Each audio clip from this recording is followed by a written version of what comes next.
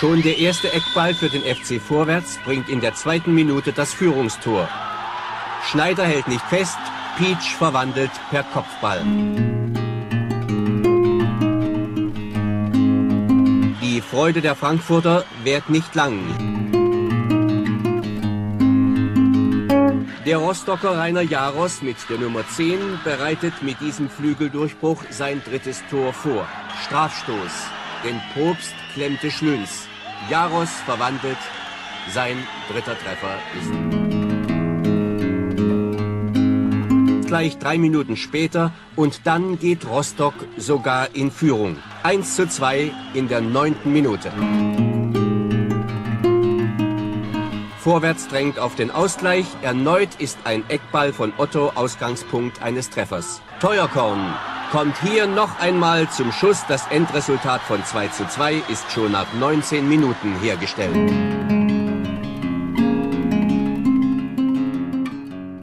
Mit sechs Meistertiteln und zwei FDGB-Pokalsiegen war der FC Vorwärts Berlin in den 60er Jahren einer der erfolgreichsten Vereine der DDR-Oberliga. Es gab legendäre Europacup-Spiele gegen Wolverhampton, Benfica, Feyenoord und auch nach dem Umzug nach Frankfurt-Ober gab es besondere Europapokalspiele im Stadion der Freundschaft, doch auch diese konnten dann letztendlich den Abwärtstrend nicht wirklich aufhalten. In der letzten Oberligasaison blieb nur der Platz am Tabellenende und damit der Abschied vom bezahlten Fußball. Im Jahr 2022, also genau 51 Jahre nach der Gründung des FC Vorwärts Frankfurt, konnten die Nachfolger die Meisterschaft in der sechstklassigen Brandenburg-Liga und damit die Rückkehr in die Oberliga Nord feiern. Da passt es perfekt, dass im Kulturkon Verlag die passende Fußballfibel erschienen ist. Darin lässt Marco aus dem Blickwinkel von zwei jugendlichen Anhängern die Vereinsgeschichte lebendig werden. Im Podcast spreche ich heute mit dem Autor und Journalist über die Erfolge, die Niederlagen der Armeekicker in der DDR und eine ganz besondere Fußballfibel. Servus Marco, ich freue mich sehr, dich im Podcast zum zweiten Mal begrüßen zu dürfen.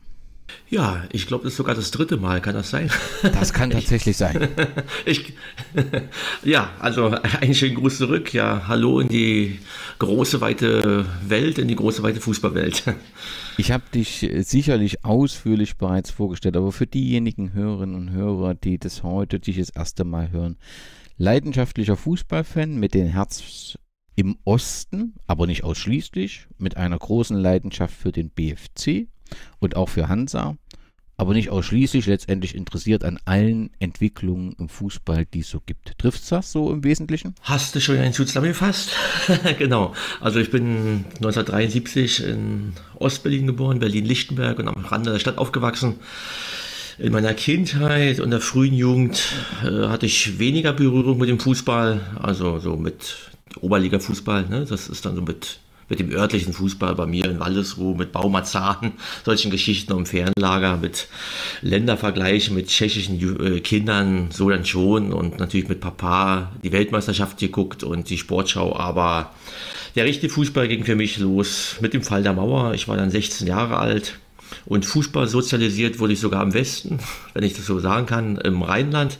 Ich habe eine Ausbildung dort äh, fortgesetzt von 1991 bis 1994 und das war sozusagen der Sprung ins äh, kalte Wasser und ich habe da alles mitgenommen. Ne? Jede Woche mit Bayer Leverkusen Heimspiele, Auswärtsfahrten und nach einem Jahr erfolgte der Blick über den Tellerrand von der Bundesliga bis runter in die Oberliga. Die Regionalliga gab es ja zu diesem Zeitpunkt noch nicht.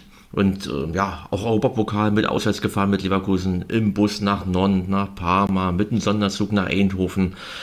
Aber dabei natürlich nie den Blick in den Fußball Osten ähm, äh, verloren oder vergessen.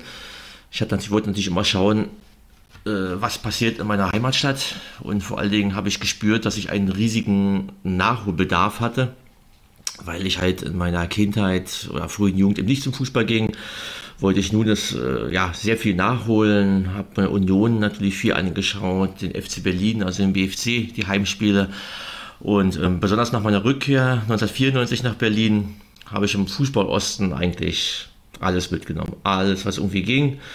Und ähm, ja, das geht dann so bis in die Gegenwart. Habe mein Herz verloren an zwei Vereine, an den BFC Dynamo und ähm, Stück für Stück auch an Hansa Rostock. Ich sage mal, der BFC ist so eine Art Familie und Hansa ist die große Liebe, die von Jahr zu Jahr immer mehr gewachsen ist und ähm, ja, sich festigte. Wer mehr über dich äh, erfahren will, den empfehle ich das Buch Zwischen den Welten, was 2014 erschienen ist. Da berichtest du eben auch so über deine Fußballerlebnisse. Und gerade die Anfangszeit äh, kann man da gut nachvollziehen. Wir kommen sofort auf deine Bücher. Du hast selbst gesagt, du bist in Berlin, bist ein Berliner ähm, Kind und nun ist ja gerade im Fußball in Berlin ordentlich ähm, Bewegung. Und zumindest eine Frage, wenn man sieht, in Hertha haben wir ähm, jemand, der aus der Kurve kommt als Präsidenten. Also Hertha, die sehr lange Zeit äh, so aussahen, wie wenn sie mit den vielen Finanzen, die ihnen zur Verfügung gestellt werden, nicht gut umgehen können, sorgen jetzt für eine Überraschung mit äh, letztendlich dieser Präsidentenwahl. Du hast mit Union ähm, jemand, der in der Bundesliga wirklich eine gute Rolle stellt, was, was ich zumindest nie erwartet hätte. Du hast einen BFC, der angeklopft hat ähm, an der dritten Liga und man Sorge haben muss, dass durch dieses vergebliche Anklopfen, also die Niederlage in der Relegation, der Trainer entlassen wurde, dass da so ein bisschen etwas kaputt gegangen ist, so zumindest für außen wirkt es so. Was ist denn äh, so, was ist für dich so im Moment die eindrucks, eindrucksvollste Entwicklung in deiner Stadt im Bereich Fußball? Muss ich auch sagen, die, die Ausschnitte von der Mitgliederversammlung, als bei Hertha BC die Stimmen bekannt gegeben wurden, also da wurden die Augen feucht, muss ich so sagen. Einfach so diese Emotionen, dieses Aufschreien, dieses Ha-Ho-He. Also ich habe jetzt keine feste Ver Verbindung jetzt zu Hertha, aber es ist natürlich trotzdem eine Stadt und habe natürlich auch die ganz bitteren Zeiten in den 90ern noch gesehen, Anfang der 90er, als sie da so rumkriegten vor 4000 Zuschauern und habe den Aufstieg aus 97 dann hautnah miterlebt, das legendäre Spiel in Kaiserslautern. Also das, äh, da kommt man ja als Berliner nicht drum herum. Ne? Also das war für mich in den 90ern auch mal, ich habe allen Berlinern Vereinen so ein bisschen die Daumen gedrückt. Natürlich hat sich dann das zum BFC bei mir gefestigt, dass das da sozusagen mein Berliner Verein wurde, aber ich habe ja die Sache immer mitverfolgt. Bei Union genauso. Habe 95 gesehen, 94, 95, als die gegen Hertha Zehlendorf gespielt haben, unter der Woche verloren haben. Als ähm, ja, dieses von ganz tief ne, wieder hoch und um auf Hertha zurückzukommen, das ist eine Chance. Sie haben viel Identität verloren. Ähm, eigentlich, ich bemängel das schon seit 20 Jahren. Ne? Ich habe das nicht verstanden. Das war kurz nachdem die aufgestiegen sind, so ähm, 97, da hast du es noch im Stadion so gespürt. Die haben auf die Historie gesetzt, die haben alte Videoclips abgespielt, die Lieder, das war Gänsehaut halt. Ne? Du hast so, ja, die 70er, die 30er, du konntest es in dem Stadion richtig spüren, die Historie. Und davon haben sie sich immer mehr entfernt. Das, ist, das fing mit, mit dem neuen Logo an, mit Nike, mit ja, Hauptstadtclub, das muss modern sein, das, naja, die ganze Geschichte halt, ja. Und ähm, das ging dann immer weiter. Ich habe das jetzt nicht mehr so im Detail verfolgt, weil mich das generell der Profifußball erste Bundesliga, naja, wie bei vielen, ja, ich äh, habe nicht den Rücken zugewandt, aber ich gucke erste Bundesliga jetzt wirklich nicht mal so, so sehr. Aber natürlich die Wahl des Präsidenten natürlich habe ich schon sehr verfolgt und ich fand es cool. Ich muss sagen, das ist einfach mal die Chance. Mal gucken, was draus wird. Und ich meine, der, der gute Mann ist ja auch Geschäftsmann, ist selbstständig. Ähm, der kommt ja jetzt ja nicht direkt, so wie die Medien, so in die Überschriften so titeln, dass der nun komplett aus der Fankurve, da ist ja mal plötzlich, ich meine, der hat ja schon einiges auf die Beine gestellt und ich denke, ja, könnt mal, mal schauen. Ich bin gespannt, ja. Ein Wort noch zu Victoria. Ähm, hast du da einen Blick drauf? Also ist ja im Prinzip Investoren dahinter, die auch bei Austria Klagenfurt fort, äh, in Österreich dort sehr, sehr erfolgreich sind. Ich habe immer mal mitbekommen, dass es relativ viel Kritik gibt ich glaube, aus, aus Zwickau hatte ich mal eine Tapete gelesen hinsichtlich der Eintrittspreise bei Victoria, die offensichtlich da intensiv sind. Äh, so ganz erfolgreich scheint man ja sportlich dort nicht zu sein. Äh, wo will Victoria hin und wo sieht sich Victoria als Nummer drei oder in welcher, wo, wo soll es mit diesem Verein hingehen? Naja, die, die haben natürlich mit dem in der letzten Saison tatsächlich die, die Chance gehabt. Ne? Ich meine, das hätten sie jetzt die Klasse gehalten. Äh, Eintrittspreise, gebe ich da völlig recht, waren viel zu hoch, habe ich nicht verstanden. Ich war, ein Spiel war ich dort, äh, auch nicht Presseakkreditierung, sondern ganz spontan mit einem Sohnemann gegen Magdeburg. War auch ein guter Auftritt. Gästefans, Spiel war jetzt nicht so die Wucht. Da hat ja Viktoria tatsächlich dann auch, mal, auch nochmal verdient gewonnen und so ein bisschen den Strohhalm auch gepackt und Sachen Klassenerhalt. Äh, war für mich völlig unverständlich. Also warum man die Preise so hoch macht, das wäre die Chance gewesen, da eben Leute ein bisschen ranzulocken. Also, also vor allen Dingen bei den Spielen, die ein bisschen attraktiver sind vom Gegner her. Da ist einiges halt verspielt, ja. Und ähm, ich denke mal, ja, also ein bisschen weg vom Fenster. Ich meine, guckt ja die, die Konkurrenz an. Jena, Cottbus, Lok, alle wollen sie hoch. Vielleicht auch mal wieder Altklinike und ich, ähm, da, da rangelst du BFC sicherlich auch so über ein, zwei Jahre und dann jetzt, jetzt rangelst du halt mit fünf, sechs, sieben, acht. Ähm, ja, also ich meine, da, da müsste schon ganz schön was passieren. Chemnitz ja auch noch das, äh, naja, mal schauen. Also ob, ob die ja nochmal ganz oben angreifen können, ich, ich weiß es nicht. Würde mich überraschen, ja, vielleicht passiert es, aber ich weiß nicht. Also das ist in der Regionalliga, wenn die da äh, auf den Plätzen sechs bis acht irgendwo spielen, dann sind die doch eher wie eine graue Maus und da wird dann auch keiner von sprechen, dass das die Nummer drei der Stadt ist. Also definitiv nicht, ja. ja. Letzte Frage, äh, BFC Dynamo. Wird sich der BFC wieder sammeln? Ist das alles, kannst du das nachvollziehen mit der Trainerentlassung oder hat der BFC noch ein bisschen an der verlorenen Relegation zu atmen? Die äh, Trainerentlassung äh, war also im Nachhinein, das, was ich jetzt so hörte von mehreren Leuten, die eben ganz tief im Verein drinstecken, ähm, war äh, berechtigt, weil tatsächlich in der Schlussphase der Saison hatte eben der Trainer, der menschlich äh, wirklich 1A ist, also wirklich ein super Typ, aber ähm, ja, er hatte äh, keine weiteren Möglichkeiten zur Verfügung gestellt, rein taktisch. Man hat es ja schon gesehen, die letzten fünf, sechs Spiele, das, das, da nahm die Form schon, ne? ich war auch in Fürstenwalde vor Ort, das war schon relativ dünn. Ne? Das, ähm, und dann, ähm, ja, eine Relegation, die erste halbe Stunde Hinspiel war unterirdisch. Das war, das war gar nichts. Das war äh, ganz, ganz schlimm. Dann haben sie im Hinspiel sich ein bisschen gefangen, haben eine durchschnittliche Leistung abgeliefert. Aber auch im Rückspiel, das war einfach, das war einfach zu wenig. Das ist nicht unglücklich verloren und ähm, die können auch ein bisschen froh sein, dass für die Statistik das dann im Nachhinein relativ knapp aussieht. Aber man muss sich da nichts vormachen. Ähm, Hin- und Rückspiel zusammengerechnet, schon 0 zu 3 zurückgelegen. Dann noch mal eine halbe Stunde wohl ganz gut geboten, was äh, mit ein bisschen Glück hätten sie sogar noch. Ne? Die hatten noch die Chance gehabt in der Nachspielzeit.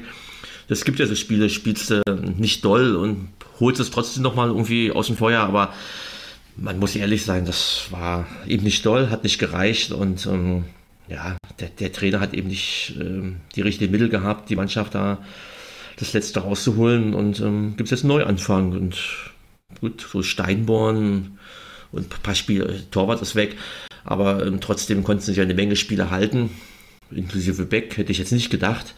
Und ähm, die bauen da jetzt was drum auf und ähm, jetzt mit dem neuen Trainer, naja, warum nicht, ne? Mal schauen. Ich denke mal, sie werden das Konzept ähm, ein bisschen in Betracht ziehen, vielleicht jetzt nicht in der kommenden Saison jetzt ganz oben anzugreifen, aber eben in zwei Jahren möglicherweise, wo man halt direkt aufsteigen kann, ja. Und ähm, das klingt doch ja. sehr zuversichtlich und wenig pessimistisch und das ist doch schön zu hören. Ich glaube schon, dass, äh, ja, ich hätte, ich hätte mir alles vorstellen können. Ich hätte auch mir vorstellen können, dass es komplett auseinanderbricht. Da, dass, dass man doch, ähm, ja, man völlig von vorne anfangen muss mit den Spielern. Aber ähm, ja, also ist natürlich ein Überraschungspaket. Kann sein, dass du da auf Platz 7 spielst.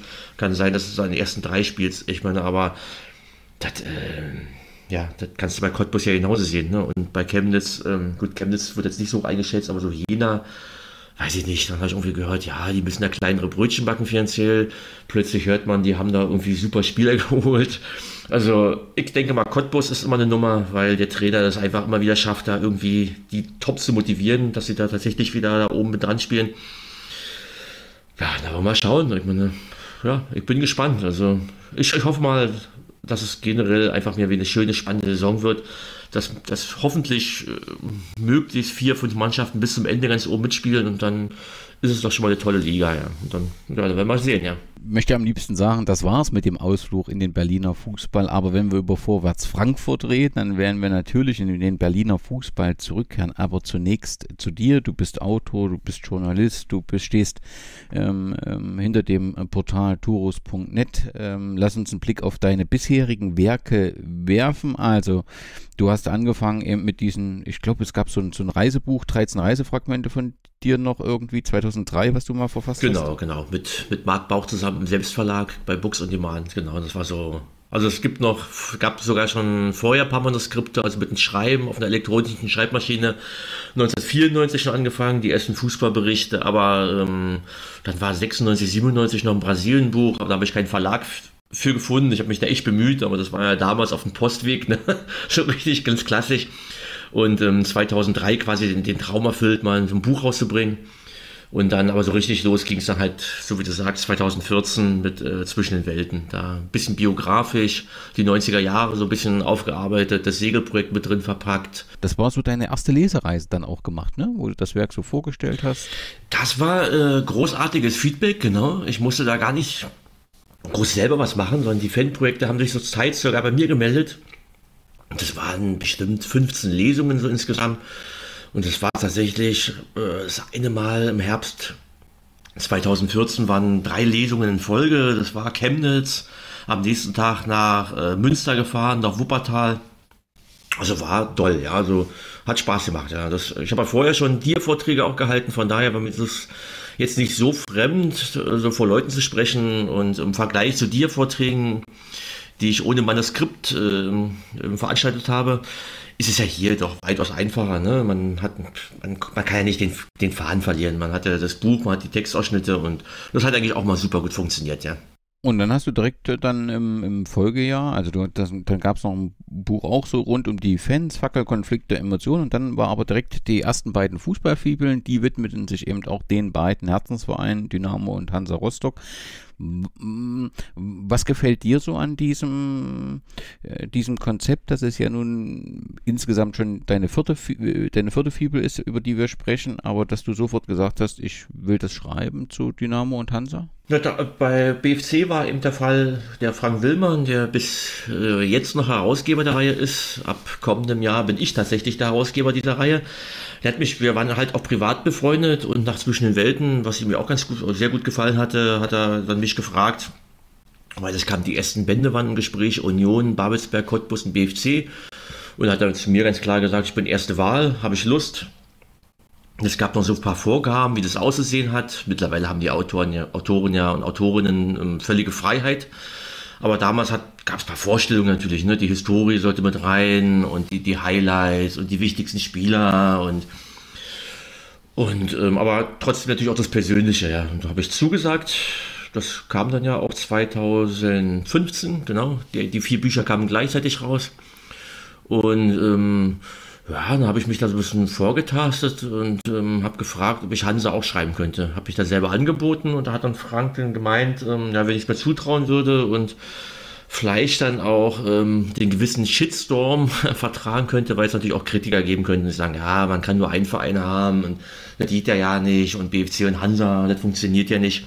Aber es war für mich halt auch der der Versuch oder Moment im Prinzip, äh, ja, so eine Art Outing auch, ne, zu sagen, äh, das war so ein bisschen so eine versteckte Liebe, ne, die habe ich nie so ganz offen gezeigt, weil ich, ähm, ja, ich war halt immer in der BFC-Schublade und, aber irgendwann sagte ich mir, ja, das ist, Hansa ist, ist, ist wirklich Liebe und also wirklich eine richtig große und die immer größer und fester wurde. Und dann habe ich die Fußballfibel geschrieben, so ein bisschen mit Handbremse. Ne? Ich wollte es jetzt auch emotional auch nicht übertreiben. Also jetzt ähm, jetzt so total in die Vollen zu gehen, habe ich da auch ein bisschen mit der Historie, nicht nur ein bisschen, sondern sehr mit der Historie beschäftigt und ähm, habe natürlich das persönlich mit reingepackt, aber so ein bisschen emotional ein bisschen Handbremse. Und bei Kaperfahrten 2020 habe ich dann im Prinzip alles reingepackt, alles was blau-weiß-rot ging. Ne?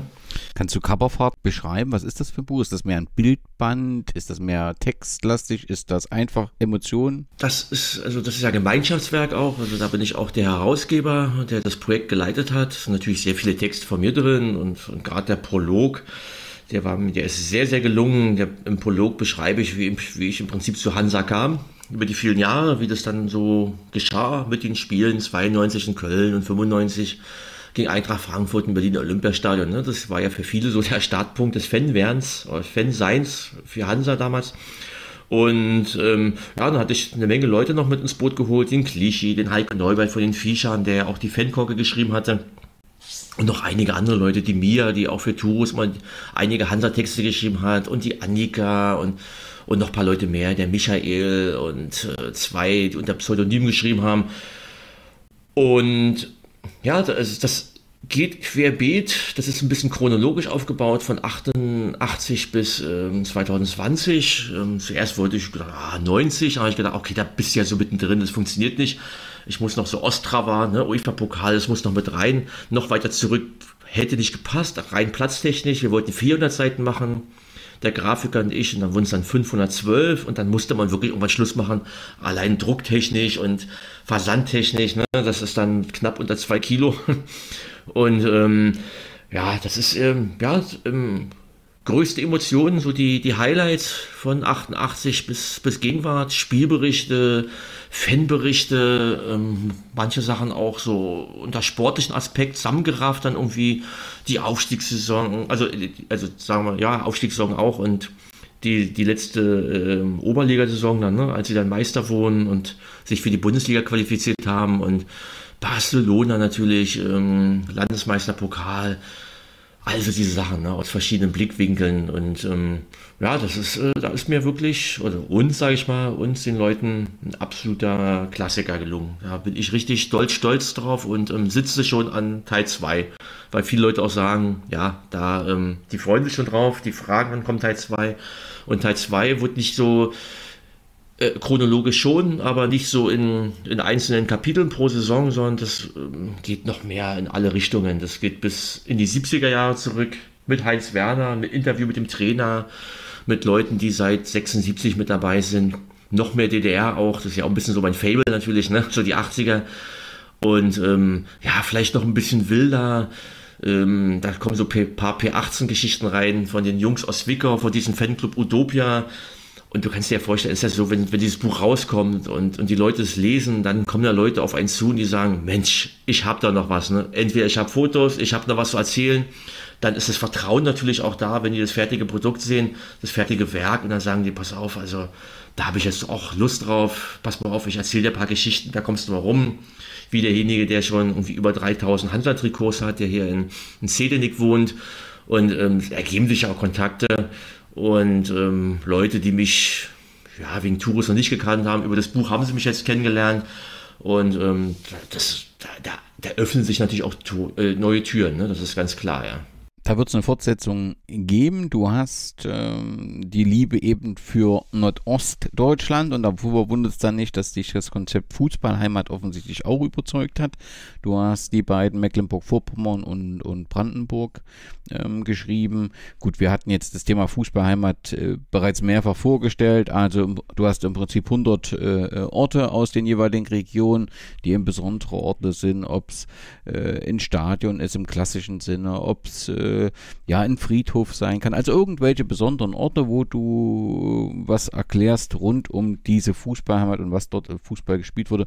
Aber da ist eben auch sehr viel DDR-Geschichte in beiden Exemplaren, nehme ich an.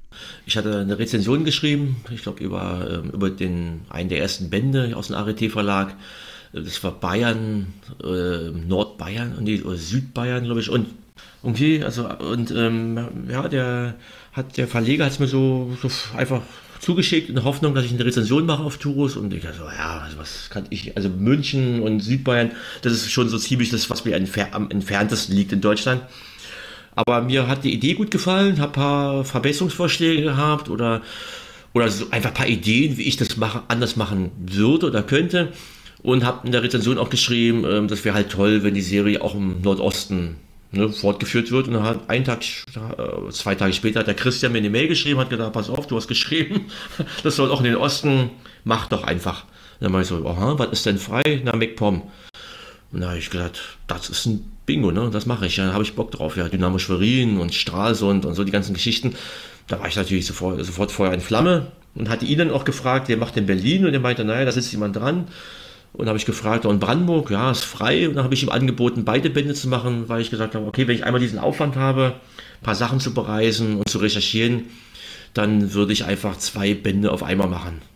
Weil es auch einen Vorschuss gab, das ist auch ein finanzieller Aspekt. Und, und dann äh, habe ich gedacht, pass auf, da machst du zwei so eine Teile, machst mal richtig Aufwand mal ein halbes Jahr. Und ähm, da habe ich das durchgezogen, ja. Und bin dann auch ja, zufrieden mit dem Ergebnis, ja.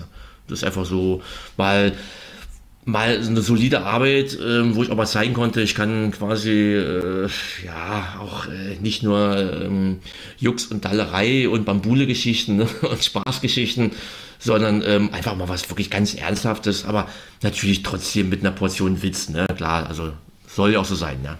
Und nun hast du ja die Fußballfibel wieder herausgeholt. Du hast zwei Fußballfibeln. Äh, über die eine, der SV Sparta Lichtenberg, werden wir noch einmal sprechen, äh, die jetzt dein äh, letztes Werk ist. Und unmittelbar davor die Fußballfibel zu Vorwärts Berlin bzw. Vorwärts Frankfurt an der Oder. Und die ist ja eine ganz andere, eine besondere Fußballfibel, denn das ist ja ein ganz anderes Konzept. Erstmal die Frage, wie kamst du zum Thema Vorwärts Frankfurt? War es der 50. Geburtstag 2021? Nee, nee, ganz anders sogar, ja. ganz anders. Ähm, zum einen natürlich ähm, steckte ich so im Thema Brandenburg natürlich schon ganz gut drin, weil natürlich auch der Standort Frankfurt oder ja auch im Fußballheimat ähm, Brandenburg mit drin ist. Und auch da habe ich dann schon beschrieben, dass ich so dieses östliche Brandenburg ähm, absolut liebe. Also das, ähm, ich mag diese gewisse Melancholie, die das Oderland ausstrahlt, das Frankfurt-Oder ausstrahlt. Das ist so ein bisschen wie in diesem legendären Film Halbe Treppe, ne? der, der vor 20 Jahren irgendwann mal rauskam. Und das ist so, das, so, ich weiß nicht, dieser Menschenschlag ist was ganz Eigenes dann, ja, das, so. Aber die ganze, die Vorgeschichte ist nochmal ganz anders. Ähm, der, mit dem Frank Willmann ähm, saßen wir und dem Verleger, dem Bernd, saßen wir mal zusammen. Ich glaube, das müsste schon vier Jahre her sein, ja. Und ähm, dann haben wir so Verlagstreffen. Ich mache die, die äh, Öffentlichkeitsarbeit auch seit zweieinhalb Jahren. Also so betreue die Facebook-Seiten und Instagram mittlerweile und ähm, betreue die Autoren. Und haben zusammengesessen und haben geguckt, ähm, ja, was können wir verbessern? Ne? Wo geht die Richtung hin? Auf welche Standorte setzen wir? Und ähm, welche Autoren haben wir? Oder wer kennt den, wer kennt jenen? Und, und dann ähm, sind wir die Liste durchgegangen. Wismut Gera wurde dann schon geschrieben. Und ähm, ja, irgendwann fiel natürlich dann irgendwie der DDR-Oberligist natürlich Vorwärts Frankfurt. Ja. Hm, naja, was machen wir denn damit? Ne? Den Verein gibt es in der Form nicht mehr. Der Nachfolgeverein, 1. FC Frankfurt, kickt in der Brandenburg-Liga. Jetzt auch nicht so doll. Hm, schwierige Geschichte. Ne? Wen sollen wir da finden? Wie finden wir den? Es gibt ja keine Fanszene mehr. Also wie kommt man da irgendwie ran, der irgendwie was zu erzählen hätte? Schwierig. Aber wir haben das auf jeden Fall in die Liste mit aufgenommen. Und ganz wichtig, ja.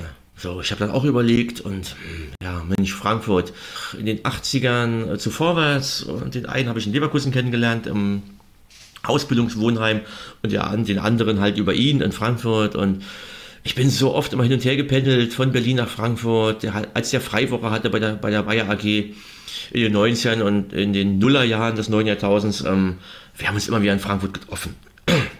entweder mal hier, entweder mal hier in Berlin oder halt in Frankfurt. Rüber nach Slubica, äh, ja, 94 das erste Mal auch ins Stadion der Freundschaft. Da war so ein Freundesspiel von Viktoria Frankfurt gegen äh, Borussia Mönchengladbach. 97 dann aber hin, da war so ein U21 Länderspiel gegen Portugal. Und ja, fand ich irgendwie spannend, die ganze Geschichte. Aber ähm, habe es jetzt natürlich nicht zum Fokus gehabt, jetzt aktuell. Ne? Die letzten zehn Jahre ab und zu mal ein Oberligaspiel geguckt, also NOV Oberliga und Brandenburg-Liga, ab und zu mal hingefahren, aber mehr war es dann auch nicht. Aber ich habe mir so überlegt, ich habe einen Wunsch gehabt, irgendwann auch mal einen Roman zu schreiben. Ne? So, um tatsächlich mich mal ein bisschen mehr auszutesten, den Horizont mal zu erweitern. Und dann kam ich irgendwann auf die Idee, Mensch, ich könnte das doch mal verbinden. Ich kenne Frankfurt-Oder sehr gut, so als auch als Stadt und habe mir sehr viel erzählen lassen und habe das irgendwann dem Frank Willmann beim Bierchen mal so erzählt. Was meinst du, was hältst du davon, wenn ich noch eine Fußballfibel schreibe und zwar über die über Vorwärts und die so in Romanform? Ne, hab das, mit dem sportlichen, mit dem realsportlichen Geschehen verknüpfe. Und da habe ich gesagt, da wäre mir schon wichtig, dass natürlich dann auch Vorwärts Berlin mit bei ist, weil natürlich die großen Erfolge ja in Berlin gefeiert wurden. Und da hat der Frank gesagt, du, ich, äh, schätze, du schaffst das, mach das. Dann machst du eben die dritte Fibel, weil die ist ja nicht in ich, aus Ich-Perspektive, das wäre natürlich dann irgendwie wirklich Unfug und Blödsinn, also äh, das wäre einfach zu viel ne, nach BFC und Hansa. Aber aus einer ganz anderen Perspektive hat er gesagt, du, mach das, probier das. Und dann habe hab ich das, glaube ich, drei Jahre äh, Vorlauf gehabt wir haben das irgendwie abgesteckt in der Editionsliste und ein Datum und ich musste dann, ich glaube, drei, vier Mal nochmal Aufschub bitten. Ne? Ich habe gesagt, pass auf, ich brauche noch mehr Vorbereitung. Ein ganzes Jahr, so parallel zu den anderen Arbeiten, zu Kaperfahrten, habe ich mich dann immer wieder mit den 50ern beschäftigt, mit den 60ern, den 70ern, mit den 80ern natürlich musste ich mich jetzt nicht so intensiv beschäftigen, weil es ja auch meine eigene Kindheit und Jugend ist. Aber ich habe gespürt, 60er Jahre, das ist ja ganz anderer Zeitgeist, ne? Die Musik, die Mode, wie haben Leute gesprochen, das ist ja nochmal eine, auch eine ganz, ganz andere DDR, ne? Wenn du jetzt Dokus geguckt hast, Spielfilme, hast ja, du hast gesagt, die Autos, alles, das ist ja, die Stadt sah anders aus, ähm, also die Städte ja auch dann. Und ähm, ja, hab mir überlegt, ich mache die 50er, 60er, ähm, lasse ich spielen in meiner Heimatregion hier in Berlin-Friedrichsfelde, wo meine Großeltern herkommen, wo, wo meine Mutter aufgewachsen ist. Und äh, 70er, 80er halt im Hansaviertel, im Neubauviertel, wo halt der Protagonist ähm, dann im Neubauviertel halt dort aufgewachsen ist. Für den Protagonisten in Berlin habe ich ein bisschen meinen mein Stiefoper im Hinterkopf gehabt, so ein klein wenig, habe mir so vorgestellt, wie der so als junger Mensch so aussehen könnte und ähm, wie so seine Interessen vielleicht waren und wie er so seinen Alltag hier gestaltete, seinen Schulalltag hier in Berlin-Friedrichsfelde. Und ähm, für den Protagonisten in Frankfurt-Oder stand quasi einer meiner besten Freunde, tatsächlich der Molly, der heißt auch im realen Leben so, stand der Pate. Ne? Ich habe ihn gefragt, ob ich ihm einen anderen Namen geben soll und er meinte so, nö, wunderbar und das, er wird sich so super freuen. Da habe ich mir ein paar Sachen so erzählen lassen, so ein paar Eckdaten und den Rest äh, habe ich mir ausgedacht. Ne? Habe so paar Sachen, bei ein paar Sachen ihn gefragt, bei den Eltern, die habe ich mir natürlich ausgedacht mit dem Namen und gesagt, ist dir das sympathisch oder ist dir das irgendwie, sind das Namen, die dir irgendwie, ne, so sehr unangenehm sind. Dann meinte er so, ja, er war mal begeistert. Ne? Ich habe ihn gefragt, warst du im Ferienlager? Er hat gesagt, nee, Betriebsferienlager war er nicht. Habe ich gesagt, naja, in dem Buch war es das aber. Ne? Und dann, aber dann habe ich gesagt, was war dein Lieblingsessen? Da meinte er irgendwie Schnitze mit äh, grüne Bohnen und Kartoffeln. Da habe ich gesagt, pass auf, das übernehme ich so. Ne? Hab immer so ein paar Sachen, ich, da musste ich mir das nicht ausdenken, habe ich das noch mehr vor Augen gehabt. Ne? Und habe ich mir unglaublich viele Stichpunkte gemacht. Während ich geschrieben habe, habe ich mich richtig eingeschlossen in die Wohnung bei mir und habe ähm, an meinem Regal, glaube ich, 20 Notizzettel A4 rangepinnt, handschriftlich, mit Tesafilm. Da habe ich immer rüber geguckt, damit ich mit den Namen nicht durcheinander komme. Und dann sind es noch zwei Kapitel. Die Eltern äh, in Berlin heißen ja anders als die in Frankfurt natürlich. Und ich wollte auch, dass, dass, dass die, äh, die Charaktere ein bisschen unterschiedlich sind. Also nicht, dass es so noch was ein Abklatsch wird in Frankfurt. Ne? Das war, das war ähm, ich muss sagen, das hat mich unglaublich bewegt. Unglaublich. Die Charaktere, vor allen Dingen der in Berlin. Ich muss sagen, der, der ging mir emotional noch ein bisschen näher, wahrscheinlich, weil es hier im Quartier quasi meiner Großeltern äh, spielte. Ne? Hier in Friesfelde, wo ich jetzt auch wohne, Berlin-Lichtenberg.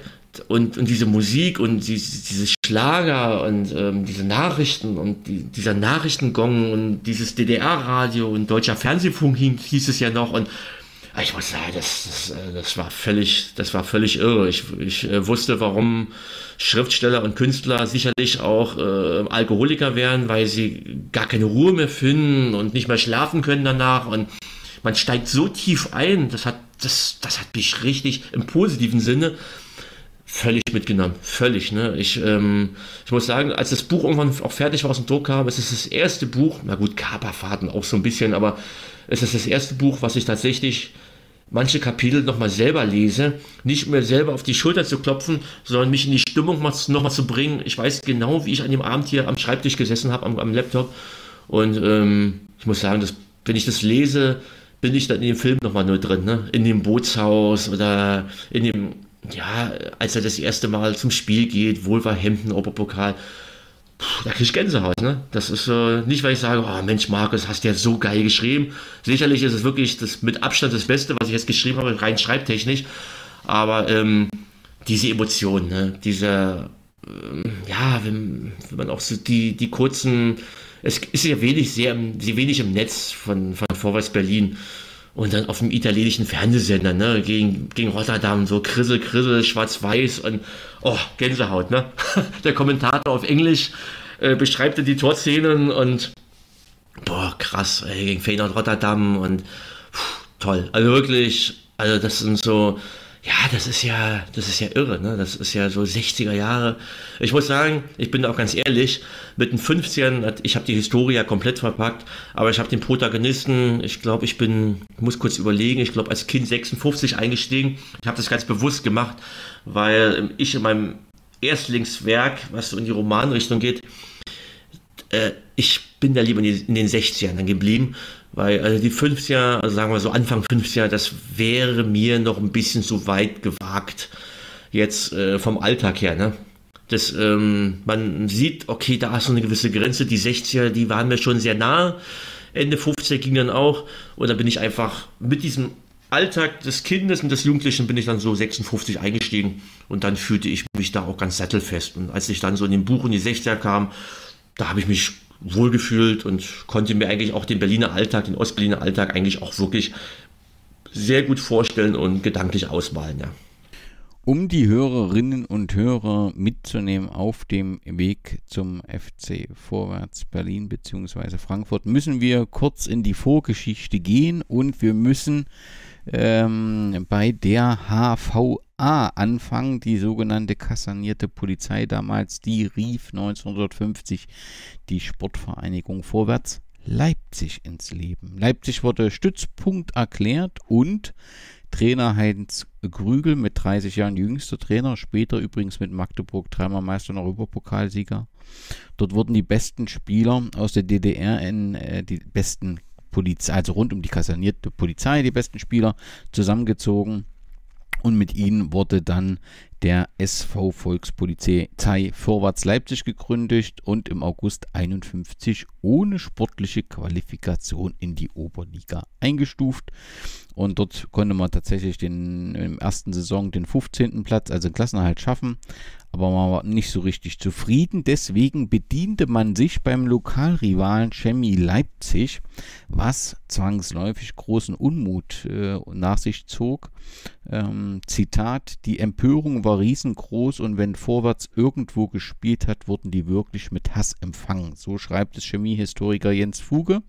Ähm, die Stimmung drehte sich also da und trotz der Verstärkung trat der SV Vorwärts der kassanierten Volkspolizei Leipzig, so hieß er dann, äh, nicht wirklich in der Oberliga besser auf und hatte Schwierigkeiten, da die Klasse zu erhalten. Und aufgrund der Stimmung auch, die in Leipzig war, hat man sich dann entschieden, bereits die letzten Heimspiele der Saison 52-53 als SV Vorwärts der KVP Berlin im Friedrich-Ludwig-Jahn-Sportpark zu spielen. Und am Saisonende musste man dann als Viertletzter in die DDR-Liga, also zweite Liga, absteigen. Damit beginnt 1953, also drei Jahre eher, als du in die Geschichte, in das Ostberlin eingestiegen bist, äh, letztendlich die Geschichte von Vorwärts Frankfurt als Vorwärts Berlin. Sind dir noch in deiner Recherche weitere Gründe für die, die erste Delegierung, nämlich von Leipzig nach Berlin. Sind dir da noch weitere Gründe über den Weg gelaufen oder trifft das im Wesentlichen die Stimmung in Leipzig, die negative, und die Tatsache, dass man sagt, da wollten eine Hauptstadt letztendlich die guten Kräfte zusammenziehen? Ja, beides. So, eigentlich so wie du sagst, ja. Das ist ja es gab ja in der Anfangszeit der Oberliga sowas wie ähm, Pankow, gab, äh, gab, ja, gab ja recht kuriose Vertreter und ich glaube, man wollte wirklich was, mal ist richtig was platzieren, auf jeden Fall. Ja, das ist sicherlich beides, so wie du sagst. Also in Leipzig hätte es ja keine Zukunft gehabt. Das war ja wirklich, so wie du sagst, blanker Hass. Ähm, kurios bei der Recherche drauf gestoßen war dann so, ähm, als wir die ersten Spiele in Berlin ausgetragen haben, äh, hat es die, die örtliche Presse verschwiegen, wo sie eigentlich überhaupt gespielt haben. Ja, die haben es offen gelassen. Das war, das, das, das war richtig kurios. Also die haben das, die, die haben das irgendwie nicht erwähnt in den Spielberichten, dass sie halt in Berlin gespielt haben. Ähm, das war gab die Spielberichte wohl in den Zeitungen und das war ähm, ein bisschen durcheinander, weil die, die, die Leute, ähm, also quasi die Fußballfreunde, die Fußballfans oder die Fußballinteressierten, sage ich jetzt mal so, die, die, die waren gar nicht im Bilde, was, wo wird jetzt spielen? Ne, war das jetzt nur ein Test und gehen die wieder zurück nach Leipzig? Das ähm, klang wohl manchmal auch ein bisschen raus, in manchen Artikeln. Dann konnte man so annehmen, aha, ähm, vielleicht doch wieder zurück. Und das war, glaube ich, für ein paar Monate echt so hin und her in den verschiedenen Zeitungen, bis es dann irgendwann völlig amtlich war, die gesagt haben, so, nee, jetzt hier, ne, Kantianstadion, Janschwortpark, jetzt heißen sie Vorwärts Berlin, spielen auch hier und fertig aus, ja. Das war, war eine kuriose Zeit, ja. Also das mit dem Wechsel so ähm, medial betrachtet musste sehr konfus gewesen sein, ja. Und es gibt ja rund um Vorwärts sehr viele äh, Wechsel, das werden wir dann auch im weiteren Verlauf äh, sehen. Ähm, das war durchaus üblich sportlich war man erstmal erfolgreich, schaffte sofort, man hieß dann ZSK, vorwärts schaffte den Wiederaufstieg. Ein wirklicher Knaller gelang dann letztendlich äh, zu diesem Zeitpunkt im Pokal, als man die BSG Motor Zwickau mit 2 zu 1 im Hans-Steier-Stadion in Dresden 1954 besiegte und damit tatsächlich vor 15.000 Zuschauern den Pokalsieg holte. Man hatte wohl drei äh, Nationalspieler, Eilitz, Scherbaum und Fröhlich äh, mit in den eigenen Reihen. Aber das äh, war schon eindrucksvoll und war ein recht guter Auftakt, äh, den man dort ähm, sportlich hinbekommen hat in Berlin, auch wenn das offensichtlich abseits ähm, äh, ja, der, der Öffentlichkeit passiert. Ja. 54 wurde dann mit Dynamo eine weitere Mannschaft etabliert. Ähm, hatte man nicht so richtig Vertrauen in die Armeefußballer? Oder was war der Grund, dass man 54 gleich noch den SC Dynamo Berlin etablierte? Was denkst du? Äh, ja, gute Frage. Hat man Vertrauen zu dem Zeitpunkt? Ähm, ähm, da, ich glaube, ich würde einfach mal sagen, man hat sicherlich auch gedacht, also so als Hauptstadt ähm, kann sicherlich auch zwei erfolgreiche Vereine vertragen. Also das denke ich mal, war sicherlich der Fall. Ja. Also das, ähm, die Annahme hat man sicherlich gehabt dann, ja, so als Hauptstadt. Ja, auf definitiv. Also wenn Leipzig schon mit, mit Lok, also haben sich ja auch umbenannt dann zwischenzeitlich mit Lok und Chemie, da so zwei Größen hatten, dann warum nicht in Berlin, ja, definitiv, ja. Was man vielleicht am Anfang noch sagen musste, dass die Spieler äh, gependelt haben, also teilweise von, von Leipzig, äh, ähm, vom Wohnsitz in Leipzig zur Heimspielstätte. Das, deswegen hat man den Standort des Clubs dann während der Saison 54, 55 nach Strausberg, also östlich von Berlin verlagert und die Spieler sollten jetzt dann auch den Wohnsitz ähm, wechseln. Das hat ein großer Teil abgelehnt ähm, so dass dann letztendlich Vorwärts Leipzig wieder verstärkt wurde und man hat dann offensichtlich äh, den SCD HFK Leipzig ähm, ähm, aufgeteilt, sodass ein Teil dann im Prinzip nach Berlin ging von denjenigen, um die Mannschaft dort zu verstärken. Grundsätzlich ist es schon richtig, 56 anzufangen, denn dann kam wirklich Bewegung in die Sache. Du hast im Januar 56 die nationale Armee, die gegründet wurde. Am 1. Oktober wurde dann die Armeesportvereinigung gegründet und ab 1. Februar 57 hieß der Verein dann Armee Sportclub Vorwärts. Was folgte denn zu diesem Zeitpunkt dann mit der Gründung der NVA in der Oberliga? Dann erfolgten, kamen doch die Erfolge so nach und nach, oder? Erster Meistertitel 1958 und dann ging es ja Schlag auf Schlag. 1960, 62, 65, 66, 69. Ne? Damit verbunden dann ja auch die Auftritte im Europapokal der Landesmeister. Das war 59, 60. Das erste Mal dann gegen Welches Wolverhampton. gab es das erste? Ja, genau. Wolverhampton. Äh, genau, gegen Wolverhampton Wanderers. Und ähm, ja, dann ging das jetzt weiter. Noch einmal war hier Europapokal der Pokalsieger. 60, 61, äh, Roter Stern Brünn, lustiger Name, ja. Und wichtig ist äh, zu erwähnen, dass das die erste Runde des Europapokals der Pokalsieger war. Also das erste Mal, dass es den gab. Und äh, wichtig zu erwähnen, ähm, Vorwärts Berlin war ja nicht Pokalsieger, äh, sondern das war der SC Dynamo Berlin. Aber das Präsidium des DFV hat in Absprache mit Dynamo äh, Vorwärts Berlin entsprechend ähm, gesetzt, weil SC Dynamo Berlin auf einer Asienreise war und somit nicht in der Lage war, diese Begegnung auszutragen. Deswegen äh, hat Vorwärts da die erste Runde gespielt.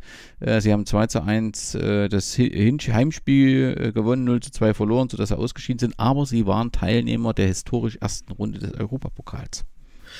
Siehst du, das hätte ich, äh, ja, diese habe ich aus dem Kopf gar nicht mehr parat gehabt. Ja, ja, ja, nee, nee, nee, nee, stimmt, ja, spannende Sache auf jeden Fall, ja. Und dann in der Folgezeit, ich meine, wenn man sich die, die Gegend einfach mal anguckt, was da so kam, Glasgow Rangers, Dukla Prag, Manchester United, Gornik Sabsche, Panathinaikos, Roter Stern Belgrad, Feyenoord Rotterdam, Bologna, Benfica, Eindhoven, bis zu dem Zeitpunkt bis zum Umzug, also Wahnsinn, ja, also das, also so äh, Manchester United, also das äh, war mir ja auch überhaupt nicht bewusst. Also, also mit der Vorwärts-Berlin-Geschichte hatte ich mich vorher auch nie groß auseinandergesetzt.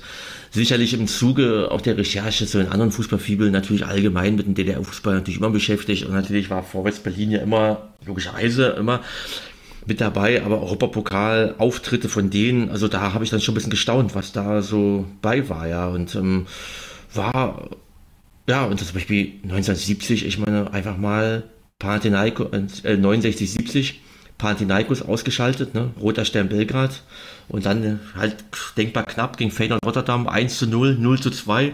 Also, ähm, ich meine, Europaburger Landesmeister halt, ne? Du, da spielst du halt nur gegen Meister und ähm, also das ähm, schon eine Nummer, ja. Definitiv, ja. ja. Weißt du was bei deiner Recherche, wie sich die Zuschauerresonanz zu diesem Zeitpunkt entwickelt hat? Also man kann ja vermuten, dass gerade durch diese, diese Auftritte auf europäischer Ebene, dass da schon eine große Aufmerksamkeit da war. War das auch so? Ja, äh, ja, ja, Europapokal definitiv. Klar, das wird, da war also jetzt hier vielleicht gegen erste Runde hier gegen Waterford FC, habe ich jetzt nicht im Kopf jetzt die Zahlen, aber da, da, da denke ich mal, wird das auch überschaubar gewesen sein. Aber alleine das fing ja schon mit, mit Wolverhampton an, im äh, Stadion der Weltjugend, also damals noch Walter Ulbricht Stadion, also das, ich weiß es nicht genau, aber das war ja irgendwas über 50.000. Also da, das waren schon Nummern, definitiv dann, ja. Also das, äh, klar, Europapokal das äh, wurde richtig mitgenommen. In der Liga, naja, da, da muss man schon ehrlich sein, das, das schwankte schon sehr massiv. Ne? Also bei großen Duellen natürlich gegen namhafte Gegner waren auch schon mal die Ränge voll, aber es gab halt auch Spiele, wo nur 3.000 bis 4.000 Zuschauer kamen dann. Ja, das war tatsächlich ähm, ja, große Bandbreite, was es, was es betraf. Ja. Das, das schwankte schon sehr, ja. Was mich sehr überrascht hat, ähm, also dass Vorwärts Berlin die prägende Mannschaft in den 50er und 60er waren, hast du ja auch mehrfach ähm, erwähnt und sehr offensichtlich, aber dass man ähm, immer vor äh, Dynamo letztendlich ähm, oder großen Teil, äh, bis auf zwei Ausnahmen, immer vor Dynamo lag und die direkten Vergleiche auch deutlich für sich entschieden hatte. Also dass da vorwärts wirklich ganz offensichtlich zu deinem Zeitpunkt äh, eine starke Mannschaft war. Die Vermutung liegt nahe, dass eben aufgrund der Differenzen zwischen Vorwärts und Dynamo oder besser gesagt zwischen Armee und äh, Stadtsicherheit-Polizei, dass das eben auch ein Dorn im Auge war, dieser Erfolg. Aber erstmal am 18. Januar 66 entstand dann der FC Vorwärts Berlin. Das war jetzt kein typisches ähm, Berliner Thema, dass da FCs entstanden, sondern das war ein DDR-Thema. Kannst du es nochmal erklären, warum wurde 66 der FC vorwärts Berlin gegründet? Genau, das, das, das, das war ja ähm, Ende 65, Anfang 66. Kurz zuvor hatte man halt beschlossen, die, die Fußballsektionen aus den Sportclubs ähm, auszugliedern und ähm, eigene Fußballclubs halt zu gründen. Und dann haben ja Hansa Rostock und der erste FC Magdeburg haben den Anfang gemacht, noch Ende 65 im Dezember. Und dann folgten ja der, beim BFC Dynamo und ähm, Cottbus, Energie Cottbus und äh, Rot-Weiß Erfurt, Hallischer FC und in dem Zuge halt auch dann vorwärts Berlin dann ja als FC ja. Du hast angesprochen, also 1971 der letzte Auftritt im Europapokal der Pokalliga gegen Eindhoven. Was müssen wir sonst noch erwähnen? Sechsmal Meister, dreimal Vizemeister, einmal Dritter, äh, ein, äh, zweimal Pokalsieger 54 und auch äh, 70. 70 hat man wieder in Dresden, dann aber im Dynamo-Stadion gegen Lokomotive Leipzig 4 zu 2 gewonnen, also zwei Pokalsieger.